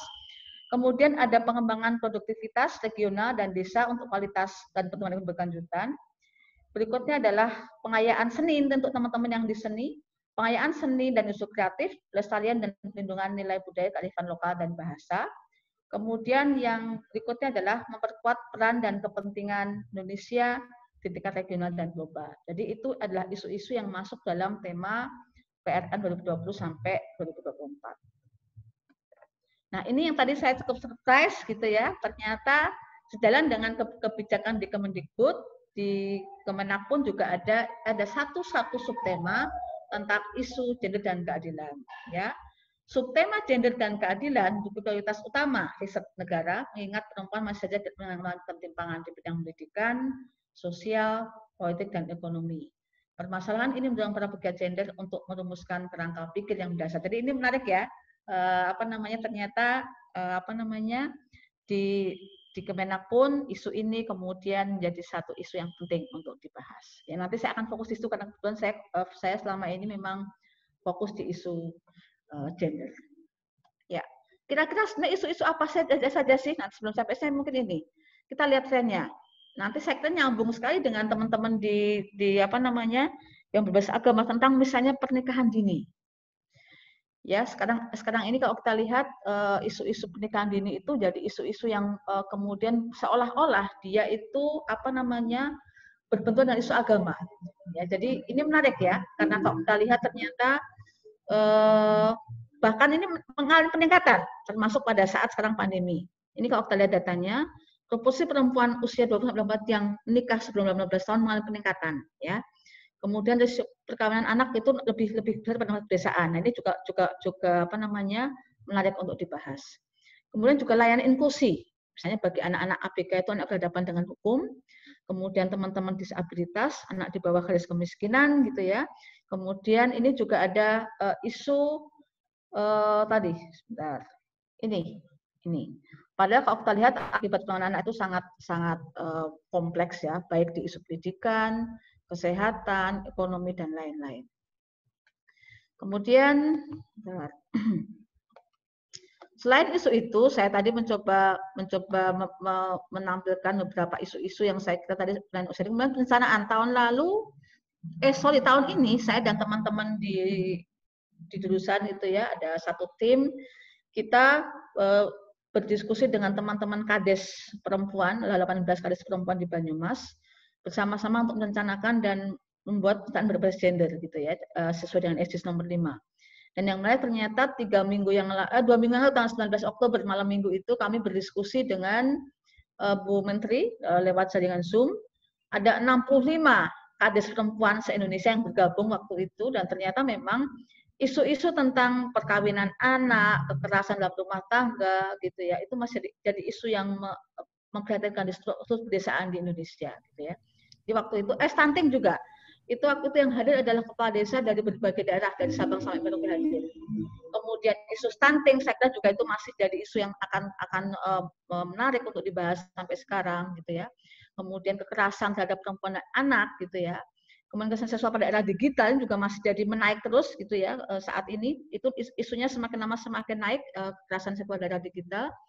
Kemudian isu isu media sosial juga saya kira menarik ada mahasiswa di sini juga bisa eh, melakukan isu itu.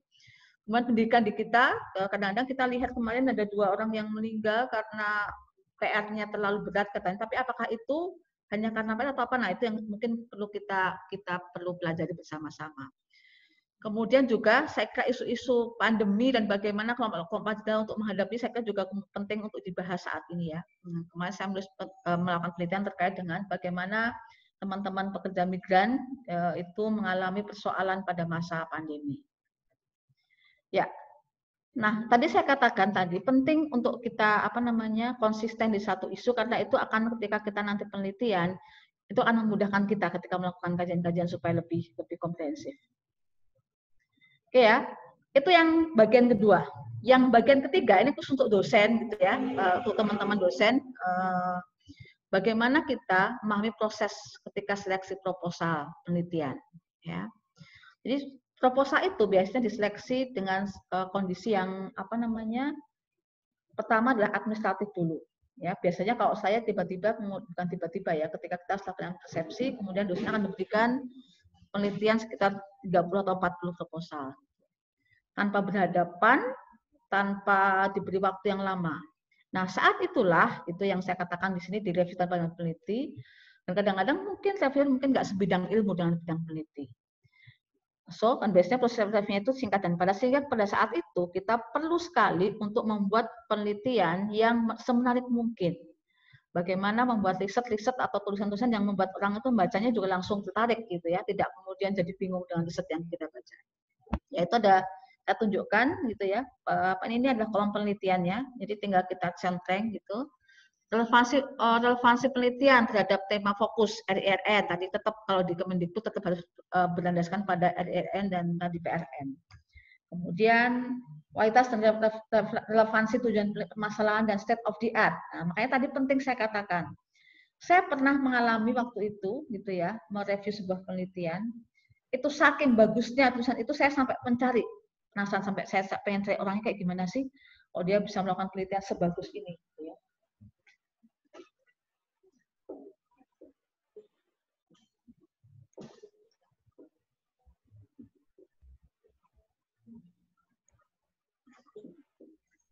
Ya, sebentar ini baterai saya harus siap-siap nanti keburu sebelum mati saya ini depan dulu sebentar. Ya, jadi itu eh, tadi yang saya katakan eh, proses penilaian proposal itu kadang-kadang tadi cepat sehingga bagaimana kita sebagai seorang peneliti harus menulis dengan sesempurna mungkin, sebagus mungkin sehingga nanti menimbulkan impresi yang bagus. Dari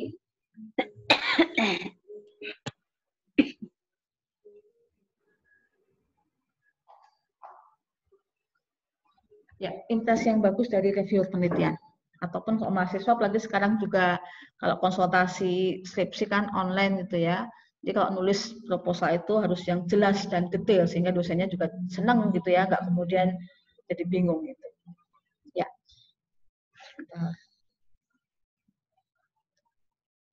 Oke kemudian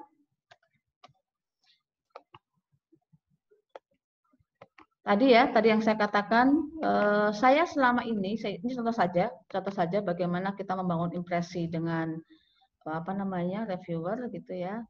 Saya selama 2008 sampai sekarang memang fokus pada isu gender dan khusus lagi pada isu pekerja migran. Jadi semua kegiatan penelitian PKM saya semuanya saya arahkan kepada isu pekerja migran. Ini teman-teman nanti bisa lihat eh, mulai dari 2008, mulai dari suaminya, anaknya semuanya sudah pernah saya teliti terkait dengan isu-isu pekerja migran dan, dan itu supaya menunjukkan bahwa e, menunjukkan tadi bahwa kita memang fokus pada isu tertentu. Baik Bu, mohon maaf waktunya lima menit lagi. Oke. Okay. Ya. Lalu gimana di unsur di jurusan sosiologi ya? Karena ini yang ada sosiologi saya uh, cerita tentang bagaimana uh, di jurusan sosiologi best practice. Tentu saya kami sudah punya lensa penelitian ini saya tunjukkan di sini. Lensa itu eh, tentu mau nggak mau adalah turunan dari lensanya fakultas dan kemudian sebelumnya adalah kita based on lensanya LPPM eh, unsur ya. Jadi selalu semua kajian itu kita usahakan penelitian mahasiswa dan dosen itu kita upayakan tidak keluar dari lensa yang sudah kita roadmap penelitian yang sudah sorry roadmap ya peta penelitian. Yang kedua, pada saat penelitian plotting itu saya akan memplotting sebagai saya akan memplotting semua teman saya kami ada 33 dosen memastikan bahwa semua dosen itu ikut penelitian dan juga memastikan bahwa mahasiswa harus diikutkan dalam minimal satu mahasiswa sebagai tugas akhir. Jadi kalau tahun-tahun lalu kami dapat sekitar 20 proposal, paling enggak ada mahasiswa yang terlibat itu minimal. Tadi ada satu kali 20 plus mungkin ada yang lebih ada yang dua. Bisa 40 mahasiswa yang terlibat dalam tugas tugas akhirnya itu adalah uh, bagian dari tugas penelitian dosen. Kemudian tadi juga sempat singgung oleh Mas uh, moderator tentang MPKM, kami sudah memulai gitu ya tahun ini moga-moga dan kami mencoba mengintegrasikan dengan riset institusi. Kita punya riset institusi jurusan itu menjadi lokasi nanti ke depan akan menjadi lokasi kampus merdeka kami di sebuah desa di Cilengok. Jadi jadi riset itu itu itu dananya kecil ya Pak Dekan 40 juta tapi kemudian kami rombongan 20 dosen ke sana bareng-bareng gitu ya. Kemudian dan kami juga memberikan mahasiswa untuk, untuk penelitian di sana karena tadi terkait dengan persiapan kami untuk MBKM. Nah, yang keempat ini juga penting nanti supaya kita semua bisa masuk di unggul, ada program publikasi bersama. Itu antar dosen dan mahasiswa. Tujuannya apa? Supaya nanti kita bisa luaran kita tercapai. Dan ini alhamdulillah tahun ini ada satu artikel yang salah satu di Sinta ada internasional satu, ada yang satu di Sinta dua juga ada yang tahun ini sudah bisa publish. Kemudian juga yang penting nanti, saya kira penting adalah tadi supaya kemudian tidak sekedar di jurnal, kita sama-sama tadi supaya tadi mahasiswa tadi punya kenangan nih, saya selalu, selalu bilang. Nanti supaya ketika lulus itu punya monumen bahwa saya dulu saya juga punya punya apa namanya entah itu punya haki entah itu itu nanti kalau misalnya kalau kita mau S2 mahasiswa bisa melakukan itu Begitu saya kira eh, pengalaman kami di UNSUD nanti moga-moga ke depan harapan kami eh, apa namanya eh, teman-teman di sosiologi UIN juga kemudian gaspol supaya bisa agitasi unggul. Demikian saya kira, mari berkarya bersama-sama. Terima kasih saya kembalikan kepada Mas Moderator. AA, AA Moderator. Baik Bu, terima kasih banyak atas penyampaian materinya yang luar biasa. Um, ya, uh, saya informasikan bagi semua peserta, Bapak Ibu, kemudian para peserta, bagi yang ingin bertanya bisa ditulis di uh, chat room ya yang ada di samping, bisa menyebutkan nama dan alamat atau institusi kampusnya seperti itu. Uh, selanjutnya sebelum ke pemateri yang ketiga, insya Allah akan disampaikan oleh Bapak Hakim ya. Assalamualaikum. Bapak. Waalaikumsalam warahmatullahi wabarakatuh. Ya, siap Bapak siap? Siap, siap. Siap, alhamdulillah. Ya, siap. Ya, terima kasih. Uh, Bapak Hakim nanti akan menyampaikan materi yang ketiga. Sebelum ke situ, mungkin saya menyimpulkan dari yang Bu Tias tadi ya, ini penting ya. Uh, saya sebagai mahasiswa langsung tersadar. Ini juga kembali menyadarkan kita semua antara kolaborasi ya. Mudah-mudahan uh, Win Bandung sudah bisa menerapkan itu semua. Karena yang saya rasakan dan ini juga penting juga untuk mahasiswa untuk berani ya berani ke dosen itu tidak hanya sebagai uh, apa sebagai guru sebagai orang yang yang memberikan uh, pengajaran tapi juga mungkin bisa berkolaborasi dalam hal penelitian. Ini juga penting ya. Uh, langsung saja ke pemateri yang ketiga Bapak Ikhwanul Hakim. Uh, Waktu dan tempat saya persilakan selama 20 menit. Silakan Pak.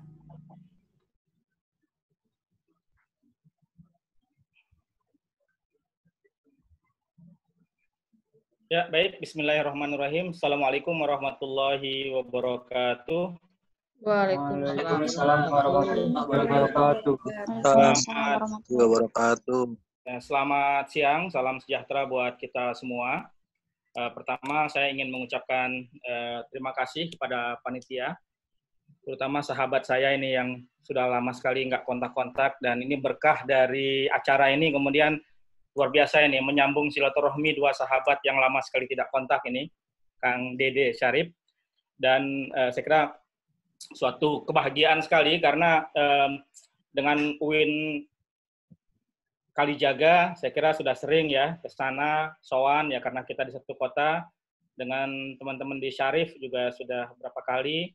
Men saya agak deg-degan ini Mbak Tias kalau sudah bertemu dengan para wali ini, kita yang makomnya masih masih di bawah ini ya.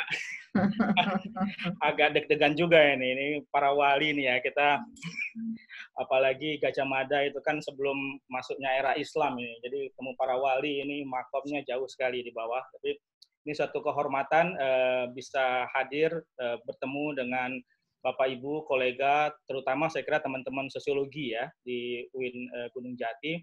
Semoga ini silaturahmi pertama tapi bukan yang terakhir gitu, akan berlanjut terus dalam bentuk kegiatan yang lain yang ke depan. Nah, untuk itu saya kira uh, sekali lagi terima kasih kepada Departemen Jurusan Sosiologi di uh, UIN Gunung Jati, para pengurus departemen, dan terkhusus juga terima kasih kepada Bapak Dekan, Profesor Ahmad uh, Ali Nurdin, yang tadi sudah mengawali diskusi kita dengan banyak sekali saya kira ya, uh, apa percikan-percikan uh, gagasan dan juga saya kira isu-isu yang penting untuk kita kita diskusikan.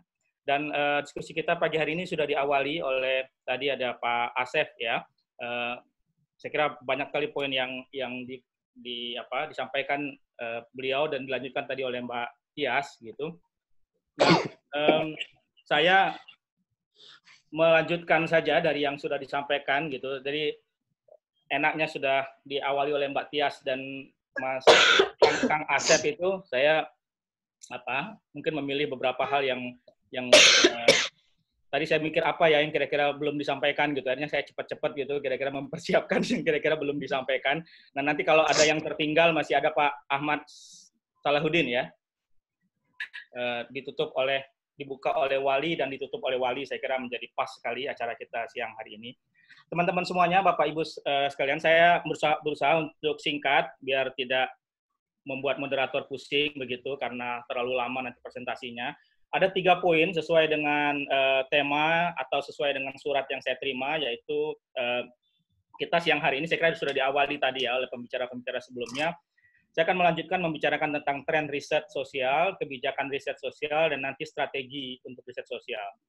Nah, saya akan masuk pada tema yang pertama ini ya. Uh, sebelum bicara tentang tren sosial, saya ingin mungkin berbagi dulu ya. Tadi saya kira uh, pembicara sebelumnya sudah membicarakan tentang dunia kita yang yang berubah, berbeda. Nah, dari perspektif ilmu sosial, saya kira kita terutama uh, teman-teman dengan background sosiologi ya, saya kira ada ada ada perkembangan yang penting sekali untuk kita sama-sama gali lebih lanjut ya.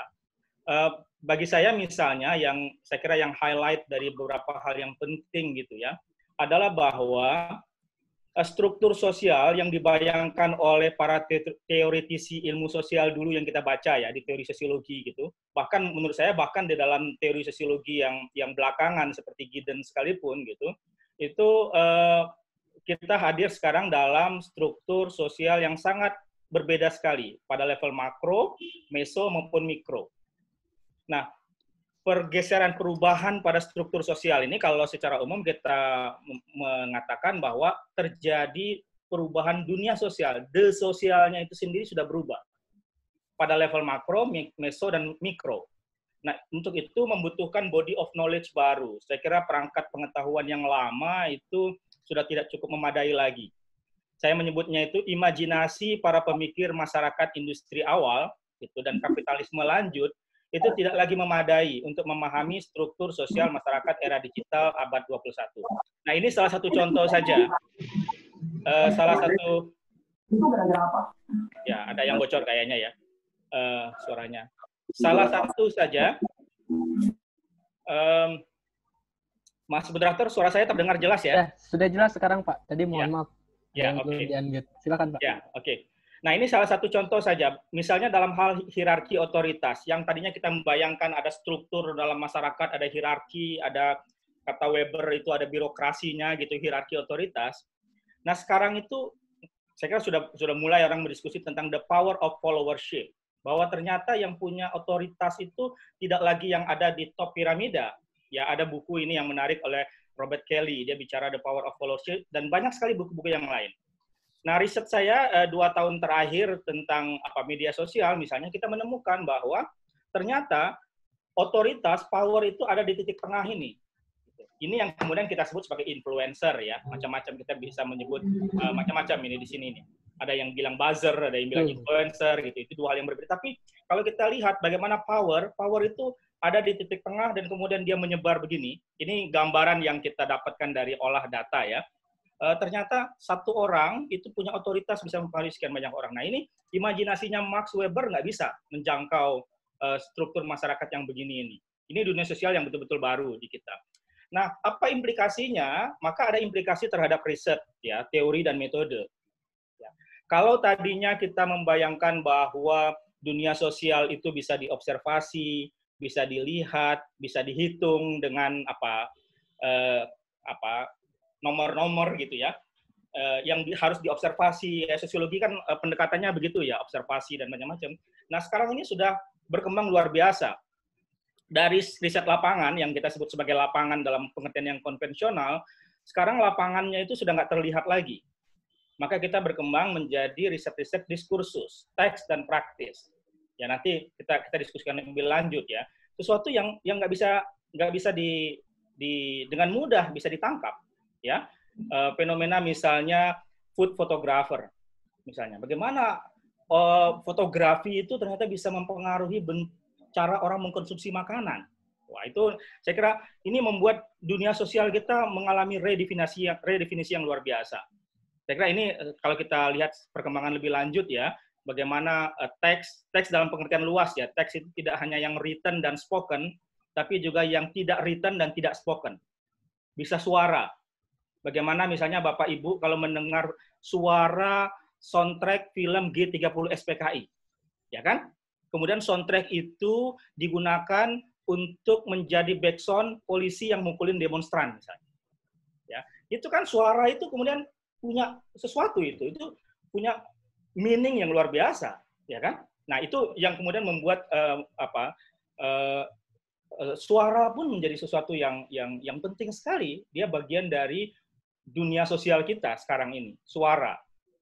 Nah, um, karena itu misalnya saya kira saya ingin mengawali dengan bagaimana kita meredefinisi lapangan field work. Kan sering kali kalau riset itu pertanyaannya terus gimana ini ke lapangannya atau imajinasi kita tentang lapangan. Nah, saya kira uh, lapangan itu perlu diredefinisi lagi ya bahwa uh, ini uh, riset saya di kitabisa.com gitu. Kita melihat bagaimana uh, image apa yang di kata-kata yang digunakan, apa foto yang ditampilkan, bagaimana cara menarasikan itu menjadi uh, menjadi lapangan dan ini adalah uh, riset mahasiswa saya uh, meneliti tentang game Call of Duty Modern Warfare ya mahasiswa mahasiswa saya meneliti tentang video game Modern Warfare. Uh, dia nggak harus ke lapangan itu. Uh, kalau dia mau ya pergi main game gitu dengan teman-temannya kalau bosan sendiri gitu. Kalau nggak dia bisa riset uh, sambil main game.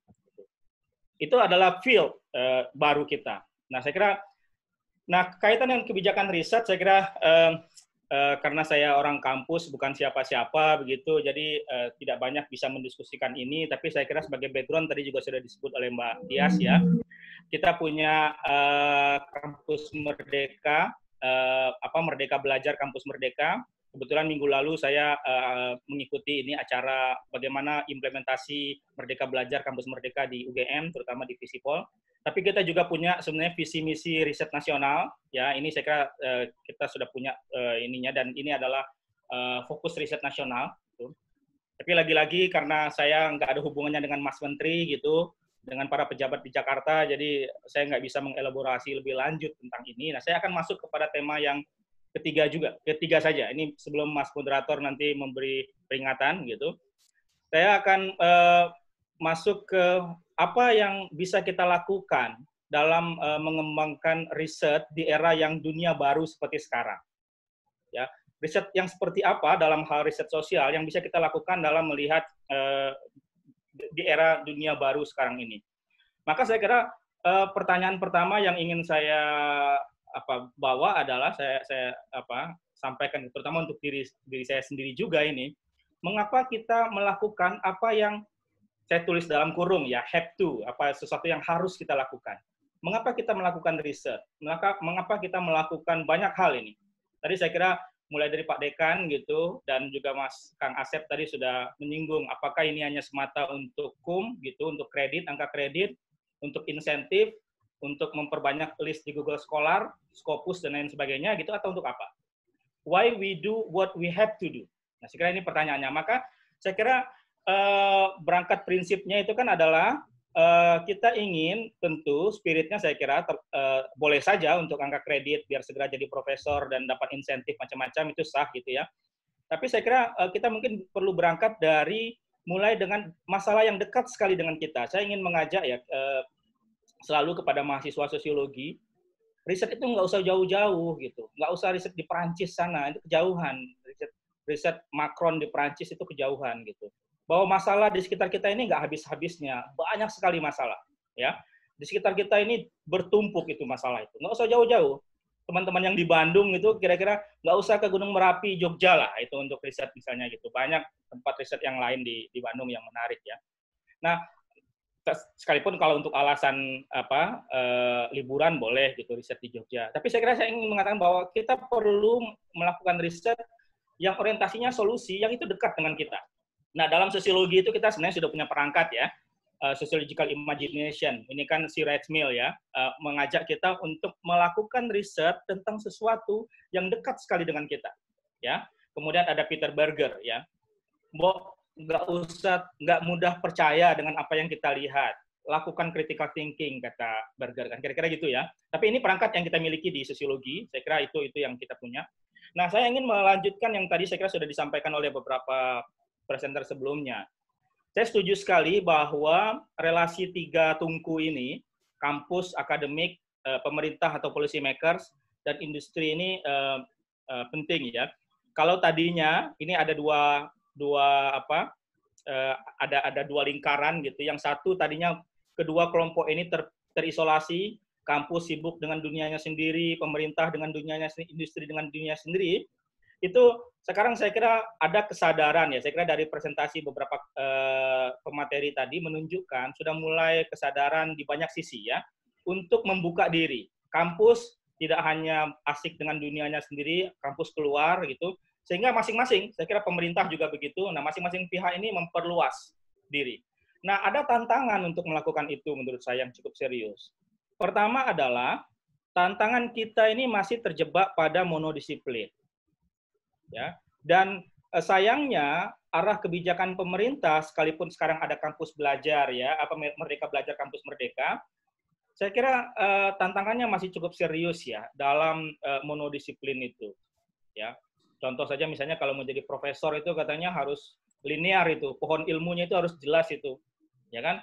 Kalau sosiologi ya S1, S2, S3 itu harus ada apa nasab sosiologinya itu, jalur keilmuan sosiologinya.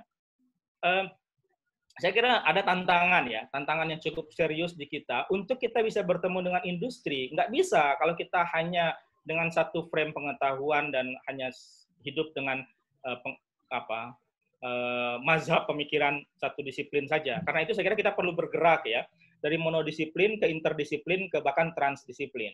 Nah, uh, dalam hal ini sepertinya kebijakan kampus belum sepenuhnya bisa mendukung, tapi saya kira kesadaran dari bawah ya. Saya kebetulan dengan beberapa teman itu membuat program namanya uh, kepemimpinan dan inovasi kebijakan. Itu kita ya agak agak apa Eh, berkencang urat leher juga dengan kebijakan kampus gitu. Karena kampus tuh inginnya ya semua sekarang masuk ke fakultas, fakultais, fakultaisasi apa namanya ya fakultatif gitu ya, bukan universitas lagi. Semua masuk ke departemen. Sementara dunia kita sekarang nggak bisa gimana menjelaskan problem sosial hanya dengan satu disiplin ilmu saja.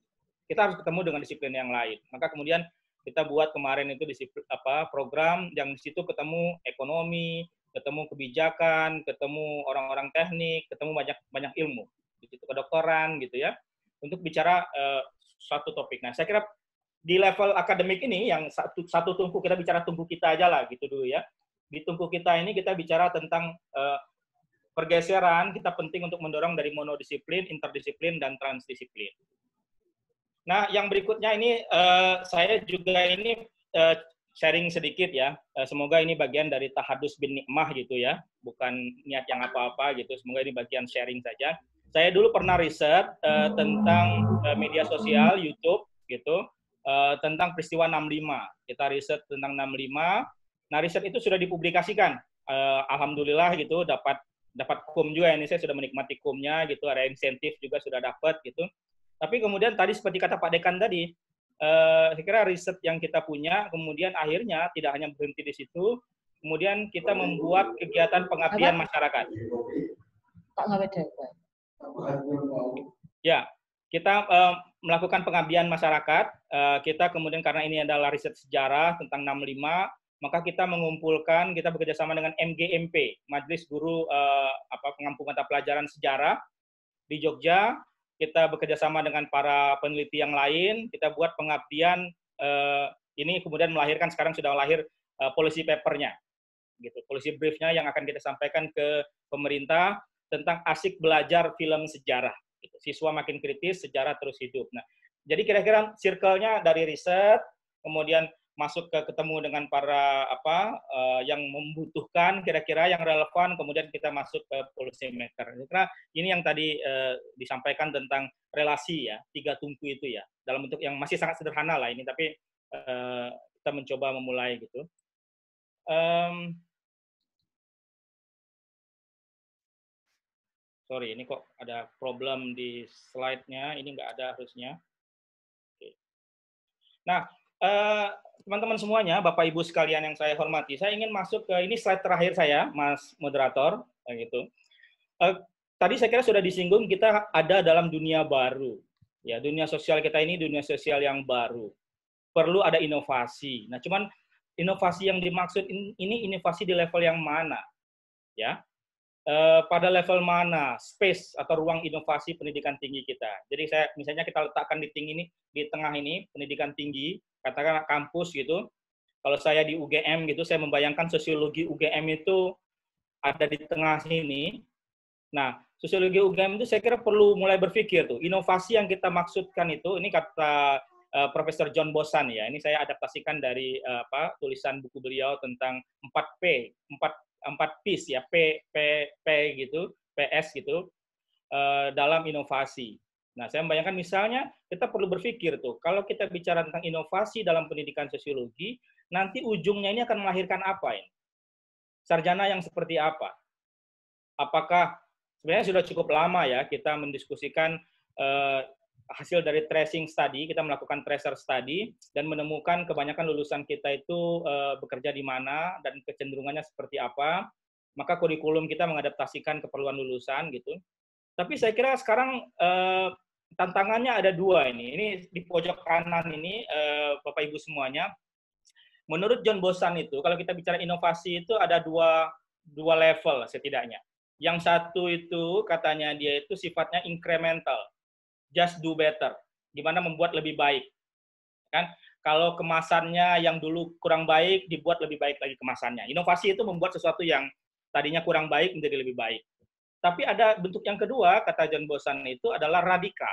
Melakukan sesuatu yang berbeda sekali. Do different. Bukan hanya do better, tapi do different.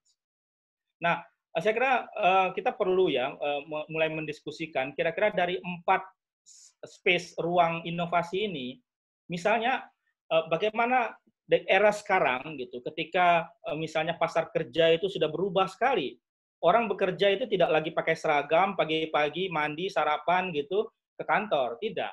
Dunia kerja sudah berbeda sekali. Orang bisa bekerja di atas kasur, meluk laptop. Bisa bekerja di cafe, co-working space, dan macam-macam. Nah, produk yang seperti apa yang akan kita siapkan untuk ke sana? Misalnya, sekarang di UGM, di Visipol, itu eh, kita ada namanya SIHAB. Ya, ini ada lembaga yang dibuat oleh fakultas untuk mendorong ide-ide kreatif mahasiswa. Jadi mahasiswa itu nggak melulu soal belajar, soal SKS gitu, tapi juga mengembangkan inovasi-inovasi yang difasilitasi oleh oleh kampus. Kita menyebutnya istilah sociopreneur. Ya, itu satu P yang lain. P yang berikutnya itu adalah pada proses. Nah ini saya kira um, Merdeka Belajar Kampus Merdeka saya kira uh, menjanjikan sekali ya, karena saya kira ada spirit di sana itu 60 persen. Um, kalau di kampus Merdeka itu 60 persen di kampus, 60 persen di luar kampus, tapi bisa di kampus yang lain. Gitu. Tapi yang saya bayangkan itu bahkan misalnya teachingnya termasuk uh, belajar di kampus lain itu 60 persen. 40 persennya itu yang non teaching, ya magang, pemberdayaan, uh, bikin video, bikin clips, ya itu teman-teman mungkin mengikuti ya beberapa waktu yang lalu ada mahasiswa Harvard yang tidak harus menulis karya akhir karena ketika acara di kampus gitu dia manggung bikin lagu yang isi lagunya itu luar biasa bagus sekali isi lagunya itu. Nah, oleh kampus akhirnya mahasiswa ini nggak usah bikin skripsi. Nah, ini yang saya kira membayangkan karya itu kira-kira gitu ya. Kalau ada mahasiswa yang bikin karya spektakuler gitu, yang bagus banget, itu saya kira bisa diapresiasi. Nah, pada proses saya kira uh, sanggupkah kita seperti itu? Dan saya kira yang lain ini dua garis yang lain ini garis yang uh, posisi dan paradigm. Saya kira yang paling berat itu di paradigma ya, merubah paradigma perguruan tinggi itu saya kira yang yang uh, cukup berat. Tapi uh, di sebelum kita sampai ke paradigma, kalau kita masuk ke posisi ya, kalau ini saya ambil istilahnya John Bosan itu, dia meng, dia menggunakan istilah we. We itu video game ya. Kalau tadinya game itu hanya untuk anak-anak muda, we itu membuat teknologi, membuat uh, apa game yang nenek-nenek pun bisa ikut main game. Jadi kalau nenek main sama cucunya atau nenek ketemu cucunya gitu, uh, kalau tadinya cucunya itu ke kamar main game sendiri gitu di komputer atau di HP, nah Wii itu bisa membuat nenek dan cucunya itu main game bareng. Kira-kira. Contoh yang lain dari bosan itu misalnya es krim. Kalau tadinya es krim itu yang makan ya anak kecil, apa makan es krim itu nggak ada ceritanya? Iya. bapak-bapak iya. kakek-kakek makan es krim. Ya kan? Hacker. Yang yang makan es krim yang makan es krim itu adalah anak-anak. Nah tapi ada produk es krim kalau kita lihat di di restoran cepat saji ya sebut saja misalnya bunga gitu bukan McD misalnya gitu ya uh, yang beli es krim itu ya orang-orang dewasa uh, Hagindas misalnya itu menjadi konsumsi es krim untuk orang yang sudah tua itu bapak-bapak gitu, nenek-nenek, kakek-kakek bisa. Nah, itu posisi. Bagaimana meredefinisi posisi. Nah, yang terakhir saya kira ada contoh yang luar biasa dari University of the People. Orang nggak perlu belajar, nggak perlu bayar, dosennya pun dari dari dosen-dosen yang qualified gitu. Nah, ini saya kira uh, pada level ini yang cukup berat ya. Tapi saya kira kalau kita bicara inovasi, mari kita mulai mengimajinasikan pada space inovasi yang mana yang paling tidak yang bisa kita kita lakukan untuk menyambut dunia baru yang sekarang kita kita hadapi ya pada level produk kah pada level proses kah pada level posisi atau bahkan mungkin paradigm Mas moderator saya ya, kira ya, cukup. itu sedikit ya. yang bisa saya sharing eh, pada Bapak Ibu pada kesempatan eh, kali ini sekali lagi terima kasih eh, senang sekali nanti bisa berdiskusi atau sharing pengalaman dengan Bapak Ibu semuanya Selamat siang. Assalamualaikum warahmatullahi wabarakatuh. Waalaikumsalam. Waalaikumsalam warahmatullahi wabarakatuh. Terima kasih saya ucapkan kepada Bapak Hakim telah menyampaikan materi yang sangat luar biasa ya. Uh, simpulan materi insya Allah nanti akan disampaikan juga di mudah-mudahan kalau masih ada waktu kita nanti ada closing statement. Uh, tanpa berlama-lama lagi, saya akan langsung ke pemateri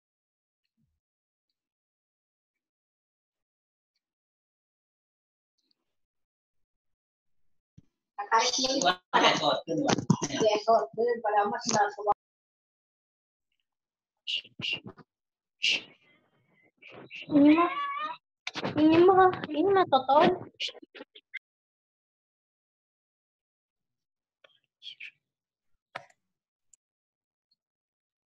Halo, Assalamualaikum Bapak. Oh, Waalaikumsalam warahmatullahi ya. wabarakatuh. Tadi disilakan, disilakan Bapak, ya. Baik. Eh, uh, Terima kasih. Assalamualaikum warahmatullahi wabarakatuh. Waalaikumsalam warahmatullahi ya, wabarakatuh. Ya, tadi sudah disampaikan oleh Gajah Mada gitu kan. Jadi tugas Kali Jogo itu tinggal mendoakan. Yang terhormat Pak Dekan, eh, terima kasih.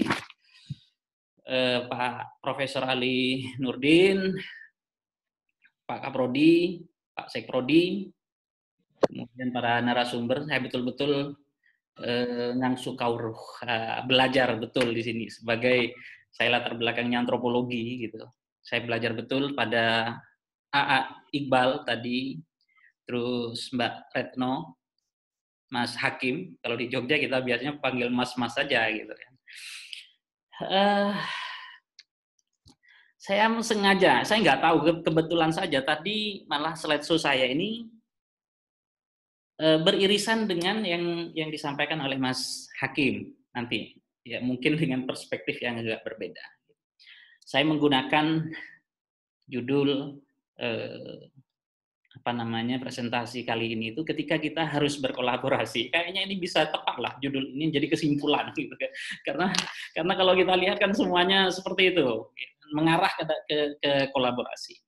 Saya ingin mengawali dari Profesor Ali tadi terkait dengan eh, penelitian, pengabdian penelitian yang seharusnya eh, bolak-balik begitu ya.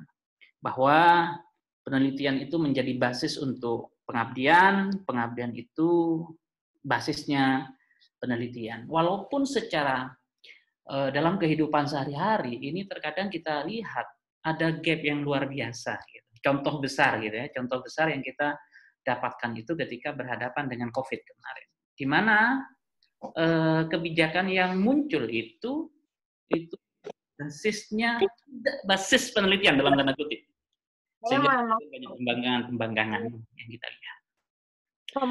Uh, saya ingin masuk dari sini. Tiga titik krusial kita terkait dengan penelitian. Ya, orang-orang menganggap saat ini itu sebagai era pasca kebenaran, ya era disrupsi begitu semuanya gitu, agama dan segala macamnya, bahkan yang bohong menjadi dianggap benar dan segala macamnya karena faktor the the power of flower misalnya yang sampaikan Mas Hakim tadi itu. Kita ya kalau dalam Islam wah ini Sunan Kalijaga. Kalau dalam Islam kita harus ada tradisi tabayun gitu misalnya seperti itu. Tapi itu itu menjadi sesuatu yang mewah saat ini. Makanya era pasca kebenaran itu kemudian e, disebut dengan era mempertanyakan kebenaran itu sendiri. Era mempertanyakan kebenaran.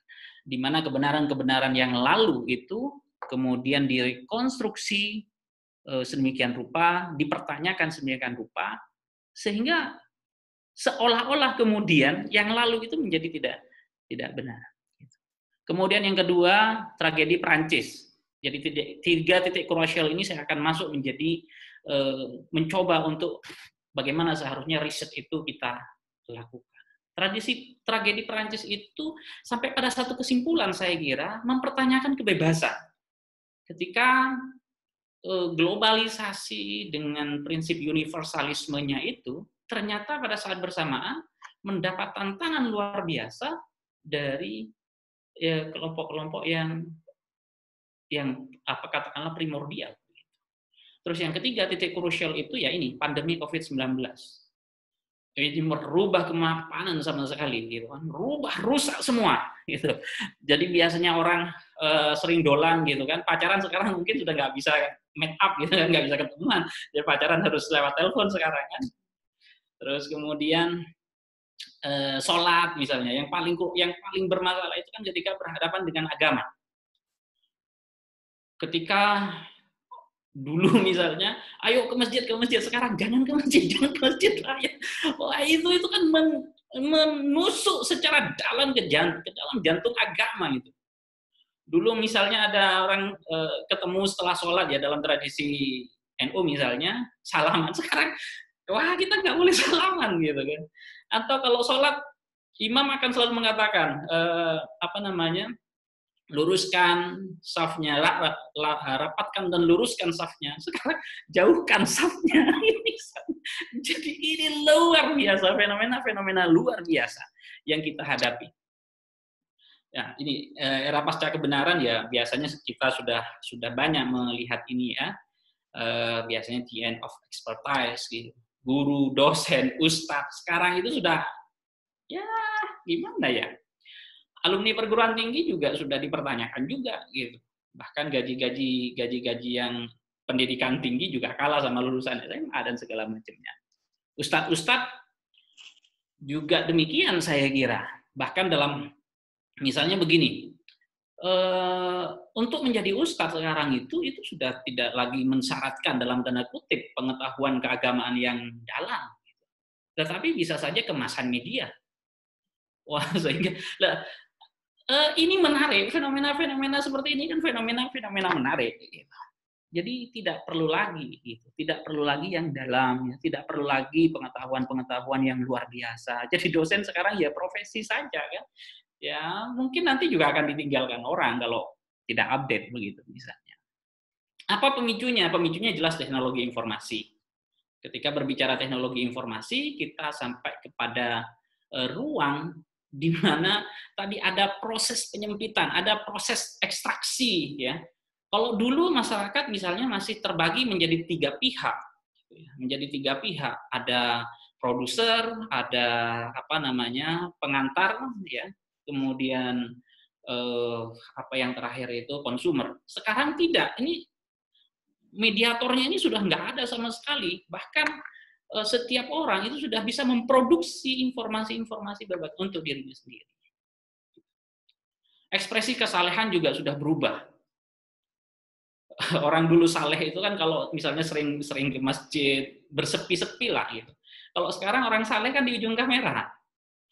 Uh, datang ke ke Mekah misalnya selfie dulu gitu kan. Jadi orang yang berbeda sama sekali gitu.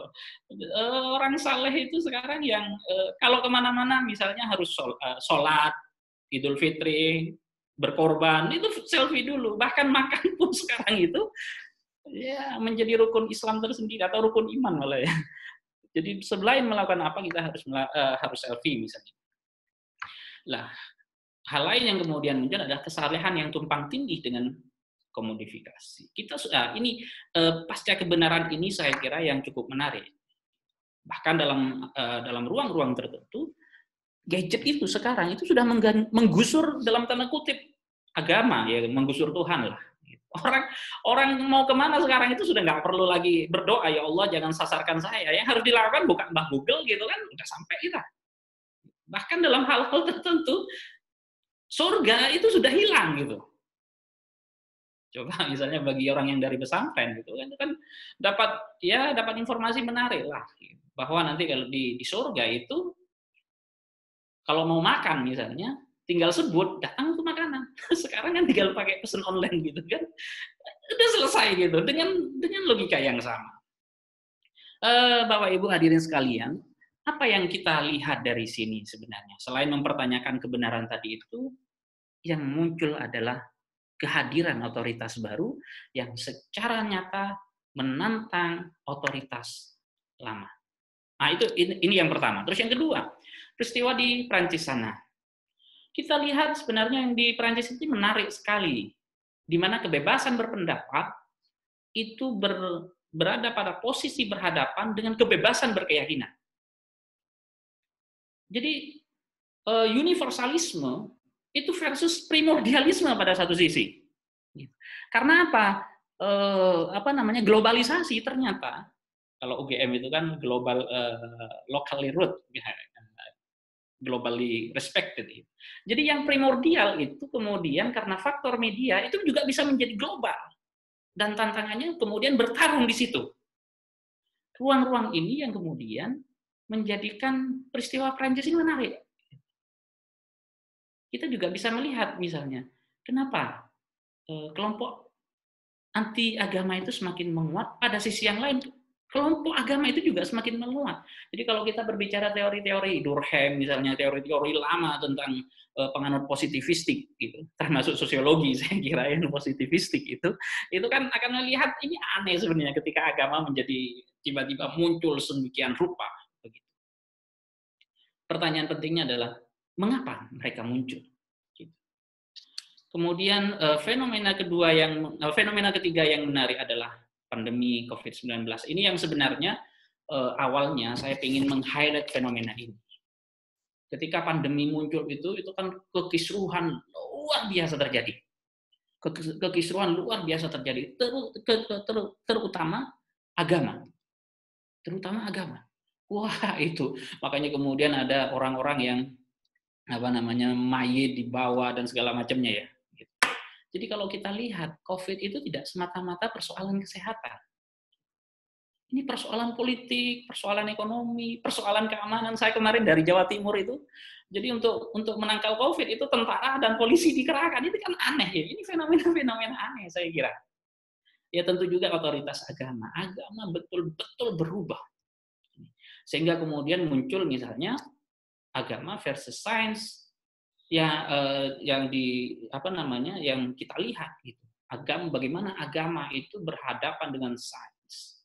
Kelompok eh, jamaah tabligh misalnya yang awal-awal kemunculan mengatakan apa namanya bahwa ada hadis eh, berdasarkan keyakinan mereka bahwa tidak ada eh, apa namanya tidak ada penyakit menular misalnya kemudian ada pihak lain yang menggunakan agama untuk melakukan lockdown misalnya karena ada hadis Nabi juga mengatakan demikian. Tetapi intinya adalah saya melihat bahwa di sini ada ruang ketegangan yang luar biasa. Otoritas agama betul-betul dipertanyakan. Gitu. Bahkan bahkan yang sering kita lihat yang yang kita lihat kemudian adalah agama terlihat tertatih-tatih ketika menghadapi COVID-19. Hanya saja Bapak Ibu sekalian, uh, ini kita akan masuk pada pada wilayah ini. Ya, kita akan masuk pada wilayah ini di mana ada ruang-ruang kemudian yang berubah. Ya. Dari tiga peristiwa yang saya highlight tadi itu ada kehidupan new normal ya. Orang mengatakan kebiasaan baru, ada normal baru ya tas waras gitu kan. Tapi yang jelas ada new culture di situ yang terbentuk. Dan yang paling penting kemudian sebenarnya terbentuknya new concept ada sesuatu yang berubah. Karena apa pun ketika kita melihat sesuatu, pasti sesuatu itu dipengaruhi oleh konsep yang ada pada diri kita. Ada paradigma yang secara lugas kemudian harus dirubah oleh fenomena-fenomena baru itu. Kita tidak bisa lagi misalnya melihat eh, apa namanya eh, apa eh, yang tadi itu pasca kebenaran itu sebagai tantangan, tetapi sebagai sebuah fenomena fenomena baru yang harus mau tidak mau harus kita terima. Itu kan persoalan otoritas. Gitu. Jadi kalau kita lihat dulu kenapa uh, ustadz-ustadz di televisi misalnya lebih menarik daripada ustadz-ustadz di pesantren, ini kan menarik. Gitu. Mengapa bisa demikian? Ada kenormalan baru yang di situ. Ada dari normal baru ada ada kebiasaan baru muncul budaya baru terutama di dalam beragama. Yang paling yang paling tersakiti dengan kebiasaan baru ini kan agama sebenarnya. Yang biasanya harus harus di masjid tiba-tiba dilarang ke masjid. Wah, ini kan luar biasa kalau kita lihat apa namanya di medsos itu. Masjid ditutup, pasar dibiarkan gitu kan. Wah, itu kan luar biasa. Ini menarik sekali gitu. Bahkan eh, kalau kita ikut ikut apa namanya Hans Kung misalnya tentang paradigma, paradigm gitu ya. Kita di sini kemudian penelitian kita itu memiliki kesempatan luar biasa. Maka suka atau tidak suka dengan COVID-19, kita harus mengucapkan terima kasih juga gitu. Karena COVID ini kemudian memaksa kita untuk memiliki paradigma baru, melihat apa pun. Coba Anda bayangin misalnya, kalau kita tiba-tiba tanpa ada covid ya tiba-tiba jangan ke jangan ke masjid itu apa yang akan terjadi? Dilempari orang gitu kan. Oh ya jangan salaman. Wah ya, masya allah gitu. tetapi ini yang kemudian kita bisa lihat. Semua hal itu bisa kita lihat. Misalnya eh, kebetulan saya sekarang di Fakultas Ekonomi dan Bisnis di UIN Jogja uh, saya mengamati bagaimana kemudian COVID itu menunjukkan pada kita tentang kerentanan sistem ekonomi liberal. Sistem ekonomi liberal itu kan rentan sekali, gitu ya, sekali. Ternyata nggak mampu ngapa-ngapain. Gitu. Malah kemudian yang muncul adalah sistem ekonomi yang dalam tanda kutip berkah, gitu, di mana orang dituntut untuk berbagi. Tidak lagi market eh, kompetisi itu ternyata bermanfaat. Ternyata yang yang bermanfaat itu adalah uh, apa namanya yang kekuatan untuk untuk berbagi. Jadi uh, ini jadi new concept adanya new concept ini saya kira yang menarik untuk kita lihat dari peristiwa tiga peristiwa yang kita lihat ini. Nah, bagaimana memahaminya? Uh, ini saya ke, kebetulan sama dengan Pak Hakim tadi, uh, ya, yang Pak Hakim tadi tentang kita tidak bisa memahami fenomena itu dengan menggunakan pendekatan monodisiplin. Linearitas itu sudah tidak tidak berlaku sebenarnya. Jadi kalau Mas Pailani nanti dari alumni sosiologi, ya jangan takut lah masuk antropologi juga. Gitu. itu dalam dalam pengayaan individu ya. Karena apa? Itu monodisiplin itu sudah nggak nggak bagus gitu. Sudah sudah ditolak gitu. Monodisiplin itu sudah ketinggalan zaman linearitas itu sudah tidak ya bet, apa namanya ya boleh lah gitu. Tapi itu sudah bukan sebuah kebanggaan lagi gitu. apa sekarang yang harus kita lakukan? Bagaimana kita misalnya harus memahami fenomena fenomena eh, hijrah misalnya? Bagaimana kita harus memahami fenomena covid? Bagaimana kita harus memahami fenomena uh, Perancis misalnya? Mau tidak mau kita harus melakukan ya multidisiplin, interdisiplin, bahkan kemudian transdisiplin. Jadi misalnya COVID ya, COVID itu betapa pada awalnya COVID itu sangat sangat nakes banget gitu, sangat nakes banget tenaga kesehatan, prokes, protokol kesehatan ala nakes itu. Itu apakah sukses? Saya kira tidak sukses. Banyak sekali pembangkangan-pembangkangan yang luar biasa di situ. Banyak sekali pembangkangan-pembangkangan yang luar biasa di situ. Misalnya kemudian eh, harus harus lockdown. Oh, banyak menolak karena itu menyinggung otoritas tidak hanya otoritas agama tapi otoritas politik gitu kan. Menyinggung otoritas ekonomi, gitu. menyinggung otoritas apa namanya keamanan, menyinggung otoritas ya agama tadi gitu. Jadi kemudian di situ kita perlu melakukan eh, pendekatan-pendekatan itu. Untuk menghadapi COVID misalnya kita tidak bisa. Kelompok agama tidak bisa kemudian menggunakan hanya menggunakan pendekatan uh, doktrinal misalnya. Tidak bisa. Kita juga memiliki perlu menggunakan pendekatan antropologi. Kita perlu menggunakan pendekatan sosiologi.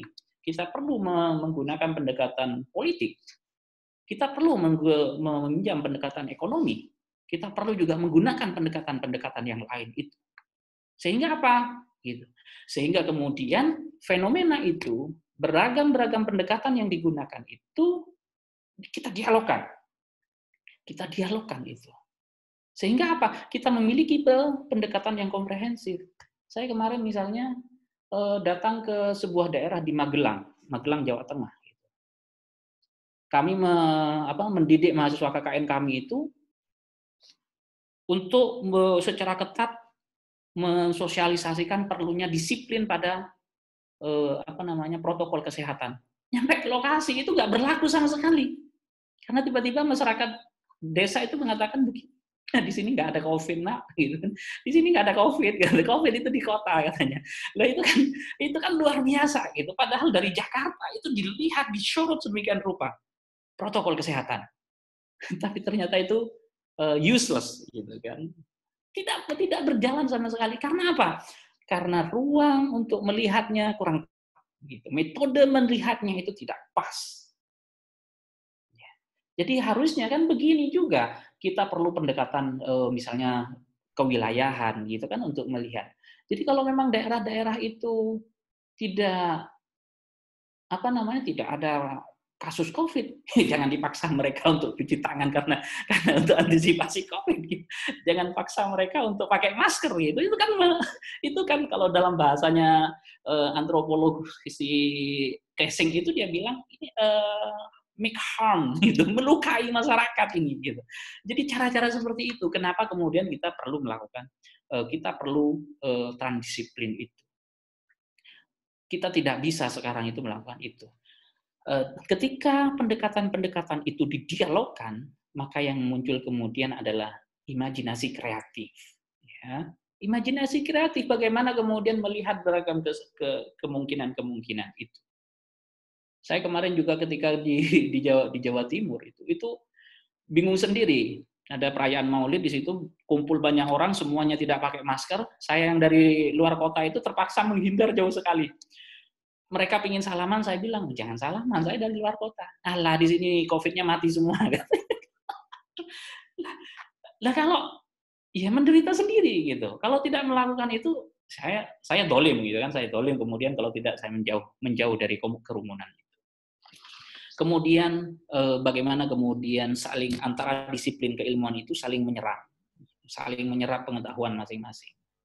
Jadi kayak misalnya di masyarakat masyarakat di, di perkotaan misalnya ya tentu harus secara ketat. Tapi masyarakat masyarakat pedesaan yang mobilitasnya tidak banyak misalnya ya tidak perlu ditekankan untuk uh, secara ketat melakukan protokol kesehatan itu. Lawan masyarakatnya nggak pernah keluar kota keluar desa kok disuruh disuruh tidak tidak berkumpul itu dolim itu. Nah, kemudian rembes rembes itu apa bahasa di, di itu ya. Ya jadi saling serap gitu kan saling saling serap jadi untuk memahami fenomena-fenomena seperti itu itu penting. Makanya ketika KKN misalnya kami kemarin uh, di, di di pegunungan Dieng di Dieng uh, untuk pengentasan kemiskinan kita tidak tidak semata-mata misalnya satu disiplin keilmuan ekonomi, tapi kita juga melibatkan banyak disiplin. Ada ada usuludinnya, ada fishumnya, ada dakwahnya, kemudian ada febinya gitu. Sehingga kemudian ketika menghadapi masalah seperti itu kita melihatnya secara komprehensif. Gitu. Oh ternyata misalnya ketika kami di Dieng itu masyarakat dalam tanda kutip memiliki teologi basis teologi yang mungkin perlu dirubah Usuludin masuk gitu. mungkin uh, satu lagi sistem ekonominya ah Febi yang masuk gitu. Dakwahnya ada fakultas dakwah yang masuk jadi kita melakukannya seperti itu Bapak mohon maaf ya nah, ini, menit lagi. Ah, ya. bagaimana prakteknya nah, prakteknya apa yang harus kita lakukan saya kasih warna merah di sini Nah, kasih warna merah ini sebenarnya untuk menunjukkan bahwa apa yang harus kita lakukan. Yang harus kita lakukan adalah melakukan kolaborasi. Ya. Ini, saya coret-coret ini. Melakukan kolaborasi. Makanya eh, tadi misalnya dari Pak Iqbal, ayo kita kolaborasi ini saya kira bagus. Kolaborasi antara apa? Ya antar disiplin ilmu. Sorry dari antar prodi dulu deh antar prodi. Jadi misalnya dari sosiologi ya ajaklah kami di antropologi misalnya kan? Jangan sendirian. Cuman masalahnya memang rumit ya ketika terkait dengan pendanaan dan segala macamnya itu itu rumit sekali. Kemudian antar fakultas ini paling paling dekat. Di di UIN Jogja itu sudah menerapkan itu yang di bawah LP2M itu ya. Jadi misalnya harus mahasiswa diikutkan Eh, minimal dari tiga fakultas misalnya. Itu sudah mulai dilakukan. Jadi tetapi masih saya kira masih eh, semangatnya masih semangat instruktif itu bukan semangat yang dimunculkan dari kesadaran. Terus juga antar perguruan tinggi. Nah, ini juga saya kira sudah dilakukan oleh Kemenak ya. Kemenak pusat kalau di bawah Diknas saya kira sudah melakukan ini. Kemudian antar negara juga gitu ya antar negara ini saya kira juga harus dilakukan. Cuman kalau yang masih terjadi itu antar negara basisnya itu ya monodisiplin misalnya. Antropologi di Jogja ketemu dengan atau uh, Islamic Studies di mana? Di UIN Sunan Kalijaga itu ketemu dengan Islamic Studies di Malaysia misalnya walaupun antar negara. Uh, ini saya kira yang paling kemudian penting untuk kita pikirkan dalam menyelesaikan masalah itu adalah antar disiplin keilmuan ini. Jadi ini sebagaimana COVID tadi. COVID tidak bisa kita selesaikan jika hanya menggunakan pendekatan-pendekatan misalnya teologi saja, kesehatan saja, ekonomi saja, tetapi kita harus bersama-sama untuk menyelesaikannya. Terima kasih, Mas Pailani. Ya, baik. Terima kasih banyak Bapak atas pemaparan materinya. Alhamdulillah, eh, hadirin sekalian, Bapak Ibu yang saya hormati, kita sudah sampai di eh, sudah menyelesaikan empat pemaparan materi. Yang terakhir dari Bapak Ahmad tadi. Selanjutnya kita akan masuk ke sesi yang kedua, yakni uh, diskusi atau uh, pertanyaan atau Q&A ya.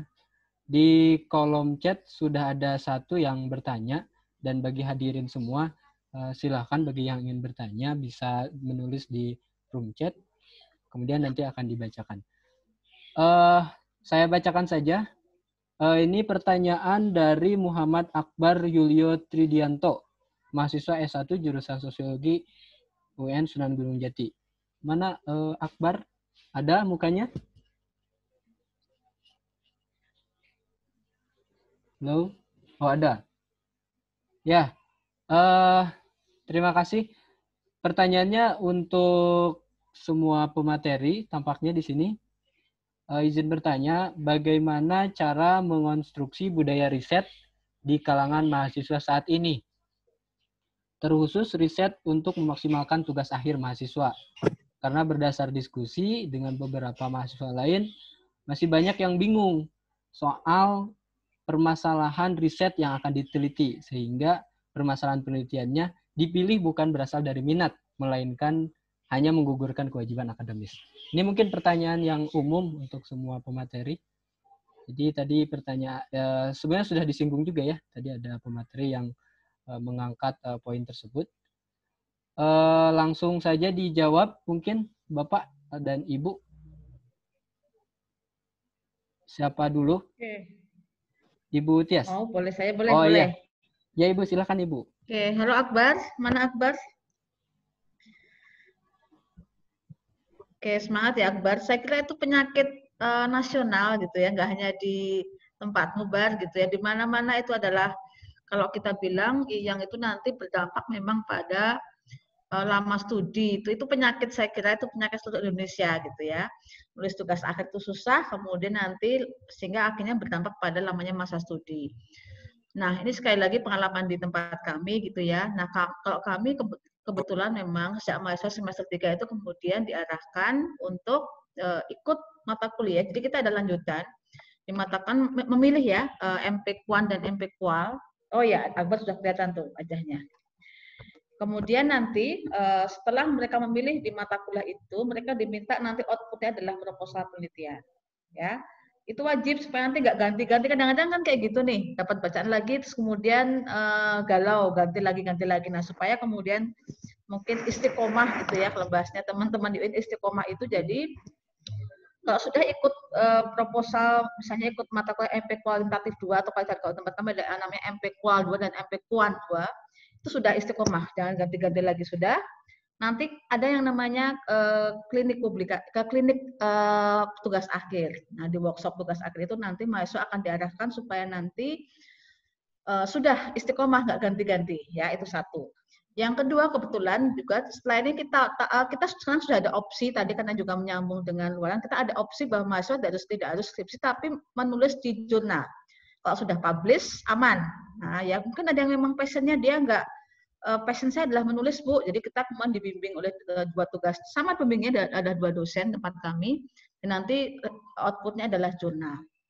Jadi gitu, memang memang tidak mudah saya bilang ya, uh, apa namanya tugas akhir itu makanya tadi kalau tempat kami uh, dosen diwajibkan ketika ada penelitian diwajibkan untuk apa namanya mengikuti mahasiswa dalam tugas akhir dalam dalam risetnya itu supaya kemudian itu mengurangi kesulitan. Nah, saya selalu bilang kayak gini sama mahasiswa gitu. Ini ibarat kamu lagi pendekatan gitu ya. Bangunlah chemistry sedekat-dekatnya. Kalau kemudian kamu ya yakin ya sudah ayo dibangun chemistry-nya supaya kemudian dengan dengan dengan tugas akhirmu itu ada chemistry. Kalau itu sudah ada chemistry, nanti asik gitu nyambung. Kamu akan berusaha untuk mencari uh, apa pun terkait itu. Tapi kalau kemudian kamu juga merasa tidak tidak nyambung ya ya sudah nanti bisa jajak putus. Atau tadi bahasanya Akbar sekedar lulus aja tugasnya selesai tapi tidak kemudian kebangun chemistry. Sama sama kayak hubungan saya selalu bilang kayak gitu. Jadi kalau tempat kami tadi mungkin nanti bisa usul jadi ada ada klinik eh, apa namanya tugas akhir. Dan nanti yang tadi yang paling penting adalah eh, dosen melibatkan mahasiswa dalam penelitiannya gitu ya Akbar ya moga-moga uh, tetap semangat tugas akhirnya apalagi Siap, sekarang kan bimbingannya banyak orang kadang tugas dosen di WA-nya nggak balas-balas gitu ya tambah jadi tambah tambah lama deh nanti. semangat semangat ya. Yuk. Ya, terima kasih Bu. Oke. Ya selanjutnya mungkin uh, akan dijawab atau sebelumnya ada yang ingin bertanya terlebih dahulu biar alokasi waktunya. Oh iya Bapak Bu jawab. Silakan Bapak. Mungkin mahasiswa okay. Bapak juga ini. Oke, ya, saya ingin menambahkan apa yang disampaikan oleh Ibu Tias Retno tadi ya. Oke. Oke, um, mungkin tidak ada jawaban yang tunggal untuk ini. Oke, uh, karena ini masalahnya masalah serius. Oke. Uh, mungkin harus dimulai dengan dengan menyambung dengan uraian saya tentang inovatif research uh, uh, itu tadi juga inovatif university itu harus dimulai dari uh, institusi itu sendiri yang mengarah kepada pengembangan a culture of innovative research tadi ya. Ya sejauh ini uh, di kampus kita ya maaf saja uh, belum sampai ada culture of research di kalangan mahasiswa. Di kalangan dosen pun kita tertatih-tatih ya. Oke. Okay. harus dimulai dari situ dari lembaga punya kebijakan untuk mengembangkan culture of research di kalangan dosen dan juga mahasiswa yang kedua, secara individu dosen juga harus punya kualitas ya mengembangkan culture of research itu. Semua dosen yang mengajar Anda, yang mengajar mahasiswa harus punya uh, visi research yang bagus, khususnya dosen mata kuliah penelitian. Ya, kalau dosennya uh, maaf mungkin tidak mungkin belum qualified mengajar di penelitian, dia sebaiknya dia tidak mengajar di penelitian, metodologi penelitian. Ya, seperti itu. Uh, yang ketiga, nih ini nih mahasiswa juga harus uh, berkontribusi juga dalam mengembangkan culture of research itu. Mahasiswa harus kreatif dan aktif mengembangkan kelompok studi sendiri. saya melihat nih mahasiswa sekarang ini jarang saya lihat punya kelompok studi ya yang yang kelompok studi sendiri di kalangan mahasiswa. Mungkin saya bukan ingin eh, di zaman saya dulu S1 di Ciputat itu barak sekali kelompok-kelompok studi yang sampai sekarang masih ada ada forum mahasiswa Ciputat, Formaci, ada Respondio dan sebagainya yang sekarang melahirkan tokoh-tokoh besar Ciputat sekarang ya. Nah, mungkin di Jogja juga ada Pak Pak Ahmad Salehudin uh, dulu ya yang melahirkan beberapa tokoh besar juga termasuk Amin Abdullah ya. Namanya apa Pak Ahmad saya lupa uh, apa namanya limited apa grup atau limited apa group. saya lupa namanya. Limited group ya, ya. betul. Ya, ya, betul.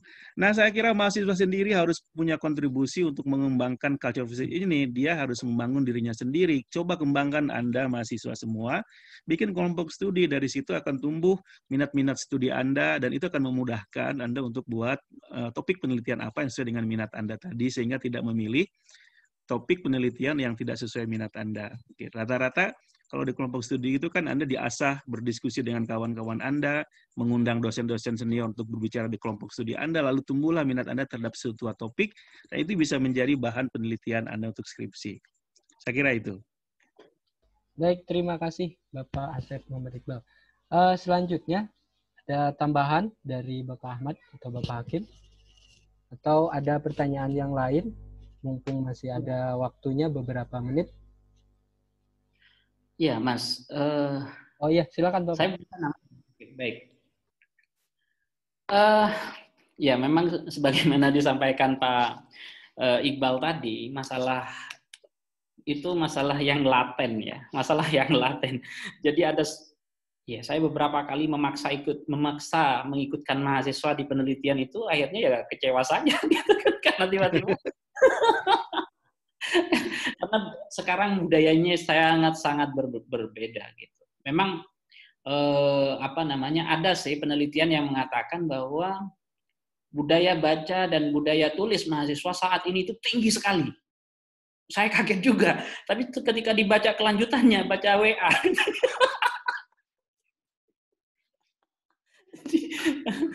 jadi lah apa ya saya, saya kira memang eh, penguatan-penguatan kelompok sebagaimana disampaikan Pak Iqbal tadi itu harus dilakukan. Gitu. Itu pertama. Karena dengan penguatan-penguatan kelompok itu akan bermuara kepada tiga hal. Yang pertama jelas penguasaan materi, gitu ya. Yang kedua itu penguasaan isu, gitu. Dan yang ketiga penguasaan strategi. Tiga hal ini yang yang uh, gimana ya membahasakannya? Itu yang rendah sekali. Mohon maaf sekarang rendah sekali gitu. Jadi bagaimana kemudian kita mau ngajak mahasiswa untuk berpikir misalnya untuk melakukan riset ketika budaya tulisnya rendah?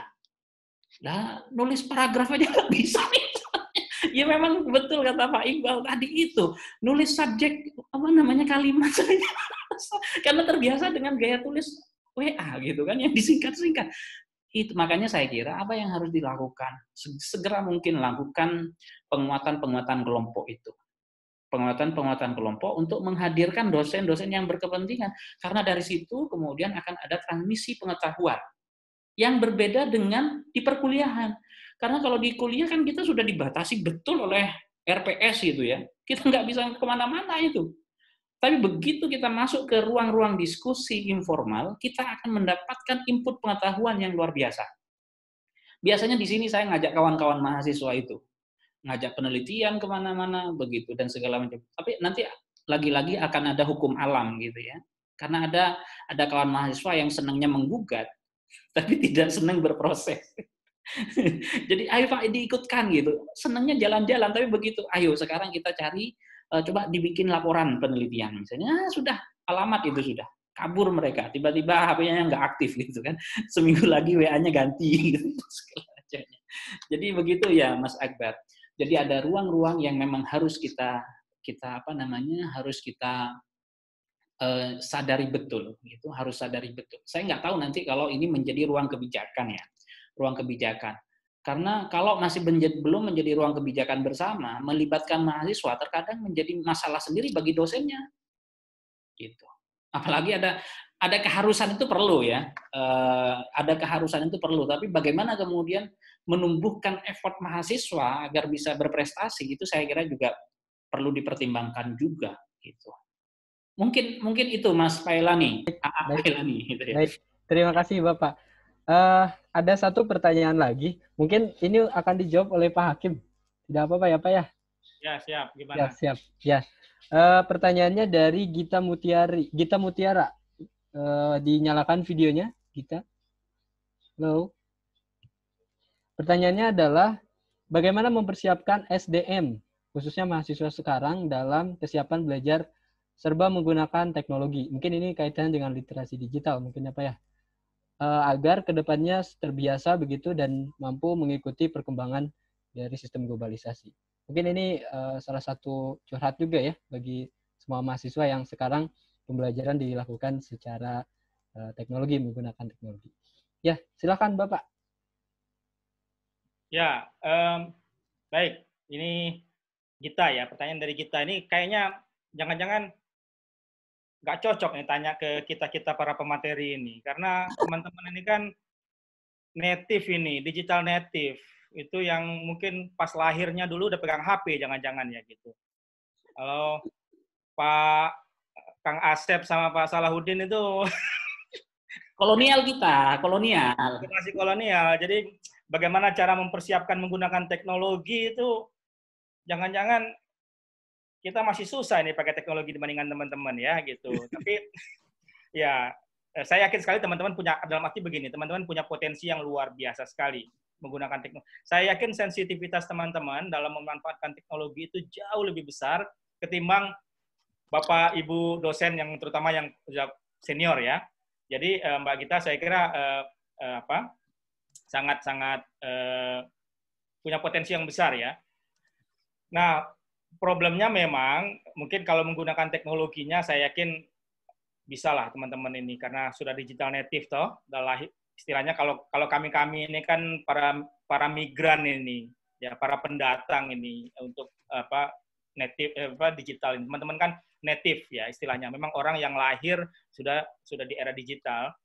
Nah, cuman memang saya kira tantangannya itu adalah mendaya gunakan bukan teknologinya, tapi apa yang ada di teknologi itu ya. Saya kira yang yang menjadi tantangannya ya. Saya kira eh, misalnya eh, saya waktu apa membimbing mahasiswa yang riset eh, video game itu, saya sempat main itu gamenya, gitu. Dan saya baru main sebentar, saya tinggalkan game itu karena terlalu keras bagi saya ya. Karena pas nembak itu darah itu muncrat ke TV itu gitu dan saya udah nggak sudah angkat tangan saya nggak bisa lagi saya main saya bilang kan gitu tapi kemudian cara dia me, apa melakukan penelitian saya kira luar biasa ya, canggih sekali.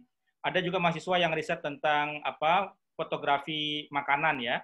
Digital food photographer itu saya kira juga eh, eksposur teman-teman jauh lebih lebih canggih ya saya yakin sekali. Nah cuman kemudian bagaimana mengimajinasikan ya mengabstraksikannya saya kira itu tantangan ya. Nah saya juga mungkin sedikit nyinggung yang tadi pertanyaannya Mas Akbar. Uh, Mas Akbar itu uh, nggak usah kecil hati kalau teman-teman banyak yang kesulitan. Mas Akbar uh, ini saya saya curhat juga gitu ya. Dulu waktu jadi mahasiswa S3 itu saya setahun itu diberi oleh universitas hanya untuk nyari masalah. Ada yang ketemu ada yang nggak ketemu itu setahun ya. Ada yang bertahun-tahun tuh nggak ketemu juga masalahnya itu ya kan? Oh. sudah di sudah dikurung di perpustakaan gitu. Nah jadi itu problem problem uh, tidak hanya Mas Akbar di S1 saya kira masuk S2 masuk S3 pun demikian. Nah tapi uh, ada dua level ya Mas Akbar ya. Saya kira yang pertama itu adalah uh, kalau kita menemukan masalah dalam konteks riset itu memang memang perlu perlu ada pakemnya ya, perlu ke perpustakaan dan lain sebagainya. Tapi eh, yang lebih sederhana sebenarnya yang saya saya berharap teman-teman tidak kesulitan itu adalah menemukan masalah yang tadi saya sampaikan di presentasi tadi.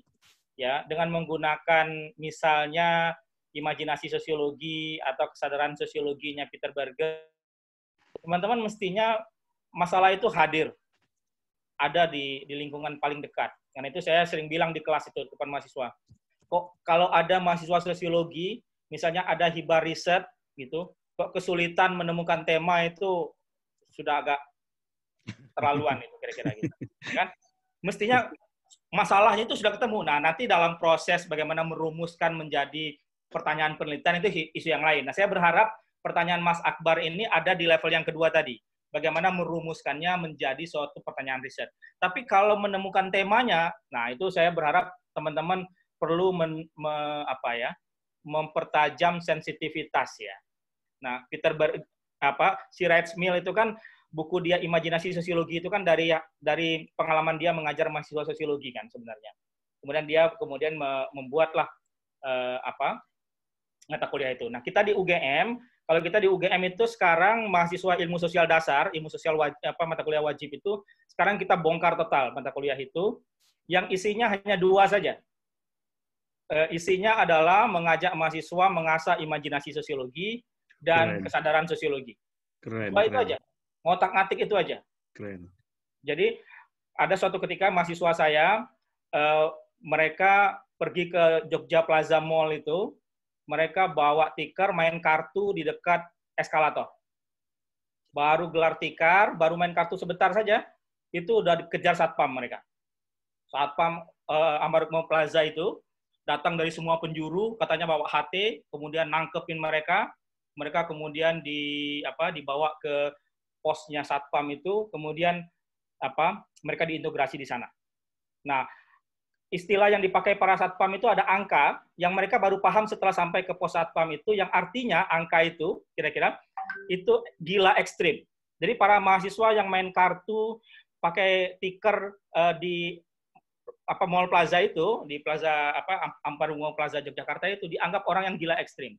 Nah dari situ akhirnya mereka tahu oh ini yang disebut dengan norma. Ini yang disebut dengan nilai. Apa yang kita sebut sebagai struktur. Tidak ada larangan, tidak boleh main kartu, gelar tikar di mall. Tapi mengapa kalau ada orang gelar tikar di mall main kartu, itu dianggap gila ekstrim. Nah, selama ini kan kalau kita belajar sosiologi kan, kita bicara tentang nilai norma kan gitu. Tapi nggak pernah betul-betul merasakan itu. Nilai norma itu kayak gimana sih gitu. Nah, Uh, jadi uh, satu semester di semester pertama itu kita betul-betul fokus dua itu saja, imajinasi sosiologi dan kesadaran sosiologi. Nah, dengan itu harapannya di semester dua teman-teman yang namanya masalah itu, ibaratnya kata si Red itu, dari personal trouble ke public issue, itu teman-teman bisa ada hibah riset kapan pun dari fakultas, itu teman-teman bisa merespon itu sekarang ada banyak ya, saya kira uh, hibah-hibah riset, kesempatan riset ya teman-teman. Nah, tema apa pun yang ditawarkan, mestinya teman-teman uh, bisa bisa merespon. Saking banyaknya sebenarnya orang sosiologi itu kebanjiran persoalan. Nggak hmm. ada dunia sosial kita ini dunia sosial yang penuh masalah. Kok sampai-sampai masih sosiologi nggak ketemu masalahnya itu saya kira masalah itu. Ya, jadi dunia sosial ini kita penuh dengan masalah dan masalah itu ada di sekitar kita, dekat sekali dengan kita. Nah, saya berharap Mas Akbar itu tidak kesulitan menemukan masalahnya. Nah, tapi problem lebih lanjut bagaimana merumuskan masalah itu menjadi pertanyaan penelitian. Nah, itu memang tadi perlu duduk serius dengan dosennya. Nah, itu saya kira perlu bimbingan ya. Yang untuk mahasiswa S3 tadi yang saya sebut, itu mereka bisa setahun, dua tahun hanya untuk merumuskan masalah menjadi pertanyaan penelitian. Nah, itu proses yang saya kira uh, proses waktu ya Mas Akbar ya. Nah, uh, saya kira Mbak Gita semoga saya tadi menjawab pertanyaan Mbak Gita ya. Uh, feel confidence bahwa dirimu jauh lebih pakar tentang teknologi dibandingkan para dosen gitu. Ya, cuman karena kalah waktu gitu, kalah bahan bacaan dalam hal membaca apa yang ada di teknologi ya mau nggak mau ketemu dosennya kan gitu. Tapi kalau gimana cara bikin video ya kan bikin TikTok gitu misalnya, upload video itu saya yakin teman-teman sangat canggih. Ya. Saya melihat di kelas saya itu mahasiswa bikin video itu dengan pakai HP saja kok videonya bisa bagus ya gitu. Saya itu susah sekali mau ngerekam video konten buat kuliah itu susah sekali itu. Ya. Bola balik ya enggak, ya enggak mas. Ya. Ada anak itu di depan kamera itu ngomong langsung lancar di depan handphone. Saya itu bisa edit berapa kali itu kalau mau ngomong kayak gitu di depan handphone ya. Nah, saya kira itu Mbak uh, uh, kita punya potensi di situ. Saya kira itu uh, yakinlah bahwa dirimu sangat mampu untuk itu. Baik. Ya. Ya, terima kasih Bapak atas jawabannya. Um, uh, mohon maaf, ini ada dua pertanyaan yang baru, tapi karena waktu juga yang tidak memungkinkan, jadi mohon maaf pertanyaannya tidak bisa dijawab. Nanti kita simpan dan mungkin kalau berkenan nanti bisa dijawab oleh Bapak Ibu ya. Nanti pertanyaannya saya uh, rekap kemudian dikirimkan melalui email. Jadi mohon maaf kepada dua penanya yang terakhir. Gazi Auzanul Ilmi ya dari Sosiologi UIN Bandung. Kemudian juga ini ada Arif Maulana Zahran. Mohon maaf ya Kang ya. E, nanti pertanyaannya akan ditulis dan di, dijawab di lain kesempatan. Karena waktu sudah habis ya, Bapak Ibu sekalian, e, sesi terakhir ini saya meminta ada e, statement terakhir atau closing statement dari masing-masing pemateri. E, maksimal mudah-mudahan cukup di dua menit itu. Yang pertama saya minta ke Bapak Asep Muhammad Iqbal, PhD. Silahkan Bapak. Oke, terima kasih moderator. Apa ya saya nyampein? Uh, dunia sekarang punya tantangannya sendiri, yang saya uh, uh, terutama tantangan digital ya, gitu. Dan dunia kampus, dunia universitas mesti meresponnya dengan baik supaya universitas bisa survive. Tapi bu bukan cuma survive, tapi juga thrive. Thrive itu berkembang. Okay. Kampus kita misalnya di Indonesia sampai sekarang belum ada yang masuk uh, uh, apa most innovative university di Asia ya. Mudah-mudahan di tahun depan kita beberapa tahun kemudian ada ada satu kampus Indonesia, mungkin UGM, mungkin Unsud, mungkin Yogyakarta, mungkin Bandung dan lainnya bisa masuk ke dalam 100 besar most innovative university in Asia ya. Kuncinya adalah eh, kita bisa harus uh, dunia riset, dunia kampus khususnya dunia riset adalah mesti meresponnya dengan dengan dengan dengan bagus, dengan tepat, dengan mengembangkan apa yang disebut dengan innovative university dan innovative research. Nah, kita bisa mulai dengan diri kita sendiri, dengan uh, mengembangkan diri kita sendiri, dengan tentu berharap uh, apa harus didukung juga oleh kebijakan-kebijakan dari pimpinan kampus untuk mengembangkan a culture of research, innovative research itu. Tanpa itu, uh, kita tidak bisa mengembangkan apa yang disebut dengan the uh, knowledge triangle tadi, yaitu linking dan integration dan intercorrelation, interconnectedness antara uh, dunia dunia perguruan tinggi, dunia bisnis dan masyarakat. Oke, saya kira itu. Terima kasih. Terima kasih Bapak atas closing statementnya. Uh, selanjutnya saya persilahkan kepada Dokter Ibu Tias. Silakan Ibu. Ya. Uh, di unmute dulu itunya di dibuka dulu Ibu. Ah, nah, ya, silakan. Terima kasih uh, Mas Moderator. Jadi tadi karena banyak mahasiswa ya kayaknya masih bergabung, pesan saya tadi tidak usah galau kalau kalau apa namanya nulis tugas akhir utamanya. Tadi seperti dikatakan juga tidak hanya S1, S2, S3 itu adalah bagian yang paling susah. Tapi bukan berarti kemudian uh, tidak bisa gitu ya. Yang penting tadi bangunlah chemistry dengan topik kalian supaya ketika chemistry terbangun kalian akan mencintai riset kalian. Jadi penelitian itu seperti pasangan. Dia harus diperhatikan, dicintai, dan kemudian ya dipelihara terus. Ya itu satu. Kemudian tadi terkait dengan uh, riset pada era pandemi, saya kira tidak usah khawatir gitu ya. Beberapa kali kami mencoba riset tetap bisa dilakukan, jangan sampai kita kalah dengan COVID sehingga kemudian risetnya jadi terbengkalai gitu. Uh, tetap jalan gitu. Uh, dalam arti gini uh, kita berapa kali mencoba misalnya dengan FGD online nanti kemudian kita setelah itu lewat dengan protokol kesehatan tinggal kita tinggal kita perdalam lagi dengan yang riset offline sehingga tetap jalan. Terus kalau buat teman-teman apa namanya teman-teman dosen gitu ya jadi ini saya kira penjaminan mutunya tetap harus tetap dikencengin gitu ya supaya nanti mahasiswa juga hak-haknya terpenuhi ya sehingga tetap tugas akhir tetap uh, sesuai on the track tidak lama karena ini ini yang kita perhatikan juga jangan sampai kemudian dengan pandemi mahasiswa jadi hanya kemudian terabaikan. Terima kasih. Ya, terima kasih Ibu. Untuk selanjutnya saya persilakan ke Bapak Ahmad Solehudin. Bapak silakan.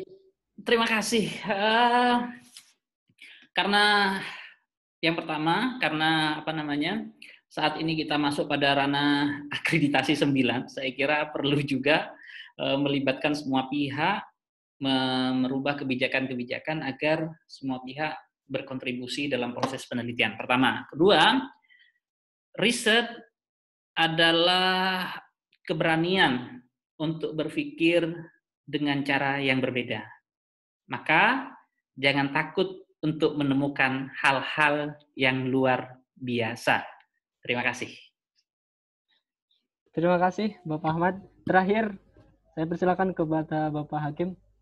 Ya, terima kasih. Eh, pertama saya ingin memanfaatkan kesempatan ini. Pertama ada Pak Dekan, ada pengurus jurusan sosiologi dan teman-teman dosen sosiologi di uh, Gunung Jati. Juga tentu kalau Mbak Tias ini memang sahabat, memang apa, keluarga sosiologi gitu di UGM. Nah, saya ingin memanfaatkan forum yang uh, bagus sekali, indah sekali ini untuk Pertama, eh, kami di Sosiologi UGM itu ingin mengembangkan sekali kajian sosiologi agama sebenarnya. Itu dan saya kira eh, kita akan mencoba melakukan beberapa tadi yang disebut sebagai inovasi atau beberapa apa langkah-langkah yang yang strategis gitu untuk memperkuat kajian sosiologi agama karena isu agama ini tadi saya kira sudah disampaikan oleh Pak Salahuddin ya tapi yang dalam perspektif sosiologi.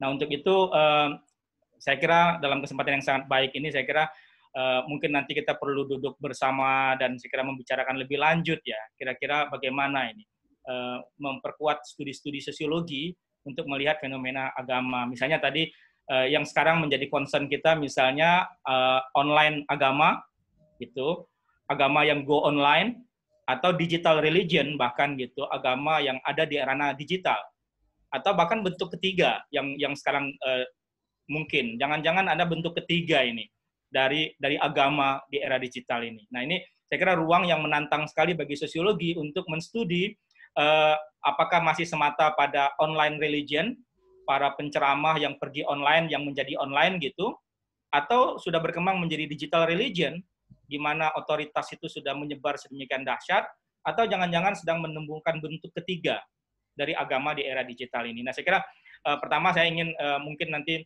apa tentu dengan dengan sahabat satu kota ya Sunan Kalijaga gitu ya. Tapi ada sunan ada sunan lain yang uh, ada di Bandung. Saya kira semoga nanti kita bisa uh, memperkuat ini. Paling tidak imajinasi kita adalah ada semacam annual conference yang serius sekali gitu dalam sosiologi agama gitu. Sosiologi agamanya ya. Kalau kalau UIN saya kira sudah punya ya konferensi yang setiap setiap tahun itu yang saya, saya berapa kali ikut juga itu konferensi Eh, terakhir kemarin yang di Palu saya ikut gitu.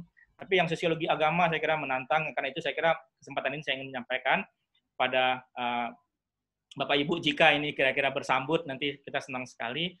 Dan yang kedua kepada teman-teman mahasiswa ini kan ada kesempatan Merdeka Belajar Kampus Merdeka yang konon kata Mas Menteri itu harus 40 SKS itu di luar perguruan tinggi. Nah, di luar perguruan tinggi ini monggo kalau mau misalnya tetap di Bandung begitu, tapi kalau ingin menikmati suasana Jogja, kita di hmm. UGM saya kira most welcome gitu ya. Kalau teman-teman ingin merasakan 40 SKS di Yogyakarta baik di sosiologi maupun di tempat yang lain ya di di, di UGM. Saya kira kesempatan yang saya kira perlu teman-teman semua manfaatkan untuk tadi memperkaya exposure ya, memperkaya pengalaman uh, tidak hanya soal di kelas kalau di kelasnya sama saja di di Gunung Jati dan di UGM sama saja gitu. Tapi mungkin ada exposure yang lain ya, e, merasakan cita rasa atmosfer di Jogja gitu. Bisa tanya sama Kang Dede gitu bagaimana. Saya kira e, dua itu yang e, Kang moderator. Baik, terima kasih Bapak saya ucapkan. Uh, Alhamdulillah kita semua sampai di titik akhir ya, khususnya saya memandu acara pada diskusi hari ini. Uh, sekali lagi saya mengucapkan terima kasih banyak kepada Bapak Asep Muhammad Iqbal, Ibu Tias, Bapak Ahmad, dan Bapak Hakim yang telah menyampaikan materi pada kesempatan siang hari ini. Pelajaran bagi kita semua, apa pun bisa kita ambil hikmahnya. Uh, sebelum saya akhiri dan berikan kembali ke Pak Dede Syarif, Pak Dr. Dede Syarif, mungkin kesimpulan dari saya adalah disrupsi menyebabkan adanya perubahan tren dalam penelitian seperti yang diungkap oleh Bapak Ahmad Salahuddin tadi, Kemudian yang harus disusul oleh kebijakan riset yang harus uh, yang mengakomodir kebermanfaatan seperti yang diungkap oleh Dr. Ibu Dr. Tias dan juga uh, yang didukung oleh kepekaan sosial yang tinggi yang seperti yang diungkap oleh Bapak Hakim dan dengan kekuatan kolaborasi uh, inovatif kampus research yang diungkap oleh Bapak Asep Muhammad Iqbal. Itu saja yang bisa saya sampaikan. Terima kasih atas segala perhatiannya. Wallahu muwaffiq ila Wassalamualaikum warahmatullahi wabarakatuh. Saya persilahkan kepada Bapak Dedi. Baik, terima kasih. Terima kasih kepada semua peserta yang sudah hadir. Sebagai akhir, saya ucapkan terima kasih juga kepada para pimpinan dan juga kepada para pembicara yang sudah meluangkan waktunya berbagi ilmu dengan kita semua. Satu ajakan yang menarik juga dari Mas Hakim. Insya Allah nanti kita sesama para wali akan mempersiapkan diri untuk bertemu para jenderal nanti ya. Uh, itu juga menjadi catatan bagi kami di jurusan fisiologi terutama terkait dengan apa namanya akreditasi dan juga terkait dengan uh, kultur apa riset yang insya Allah akan kami kembangkan. Tidak ada kata yang paling tepat kecuali uh, terima kasih yang sebesar-besarnya kepada para pembicara, kepada para pimpinan dan juga kepada semua hadirin yang sudah bergabung dari jam 9 tadi sampai sekarang jam 11.43 itu saja yang bisa kami sampaikan. Terima kasih. Kita ketemu lagi pada acara yang lain. Mudah-mudahan ini bermanfaat bagi kita semua. Uh, yang terakhir saya tutup dengan doa Alhamdulillahirobbilalamin. Wassalamualaikum warahmatullahi wabarakatuh. Waalaikumsalam. Waalaikumsalam. Terima kasih Mas Udin. Ya ya, sama-sama. Assalamualaikum warahmatullahi wabarakatuh. Oke, sampai ketemu lain waktu. Terima kasih. Terima kasih, Pak. Salam. Waalaikumsalam warahmatullahi wabarakatuh. Bu Tias, terima kasih. Sama-sama, Mbak Rini, sukses. Iya. Saya menyampaikan. Ya, sama-sama. Nuhun. Ibu selamat ya, sosiologi unsur Ya, dapat A lagi Iya. akreditasinya. Ayo, teman-teman UIN tinggal ini, gaspol. Habisnya kapan sih, Pak Kajur? Habisnya kapan akreditasinya? Tahun 2003, Bu. Eh, 2003? 2000, oh, 23. Dua tiga. Ya. Ya, 2023, Nanti 23. Pilihannya mau ISK, dikonversi, atau mau perpanjang, perpanjangan bisa tetap B ya, atau mau mengajukan baru. Insya Allah Masih- mengajukan. Saya minta bimbingannya dari Ibu nanti, Bu. Ya masih masih tapi nggak bisa itu masih tiga tahun ya masih bisa ancang-ancang saya kira insya Allah. Insya Allah, insya Allah. Iya insya Allah. Nanti bimbingannya, Bu ya. Ya siap siap. Bandung. Ya siap siap siap ya. Yuk mangga mangga. Yuk Assalamualaikum, matur nuhun semuanya. Mangga, ya. Semangat semangat. Makasih hari ini ya. Iya, Assalamualaikum. Ibu. Salam. Atur nuhun Pak Asep Iqbal, atur nuhun. Mantap. Mangga kasadayana atur nuhun. Oke, sama-sama. Itu. pamit, Pak.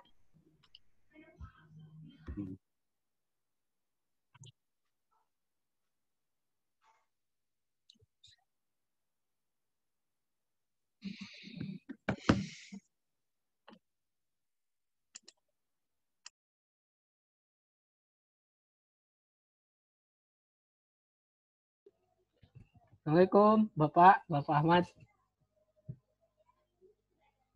Direkam ya? Alhamdulillah mantap. Khawatirnya nanti mau diupload ke YouTube, videonya nanti bisa dikirimkan ke saya gitu.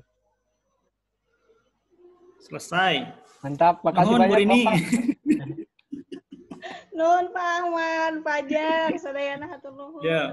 Terima kasih Pak Bu. Ya, Pak Ya, Iwan, terima kasih ya. Ayo, enggak. Assalamualaikum. Ya. Waalaikumsalam. Udah, end meeting aja Kak Ahmad. Oke.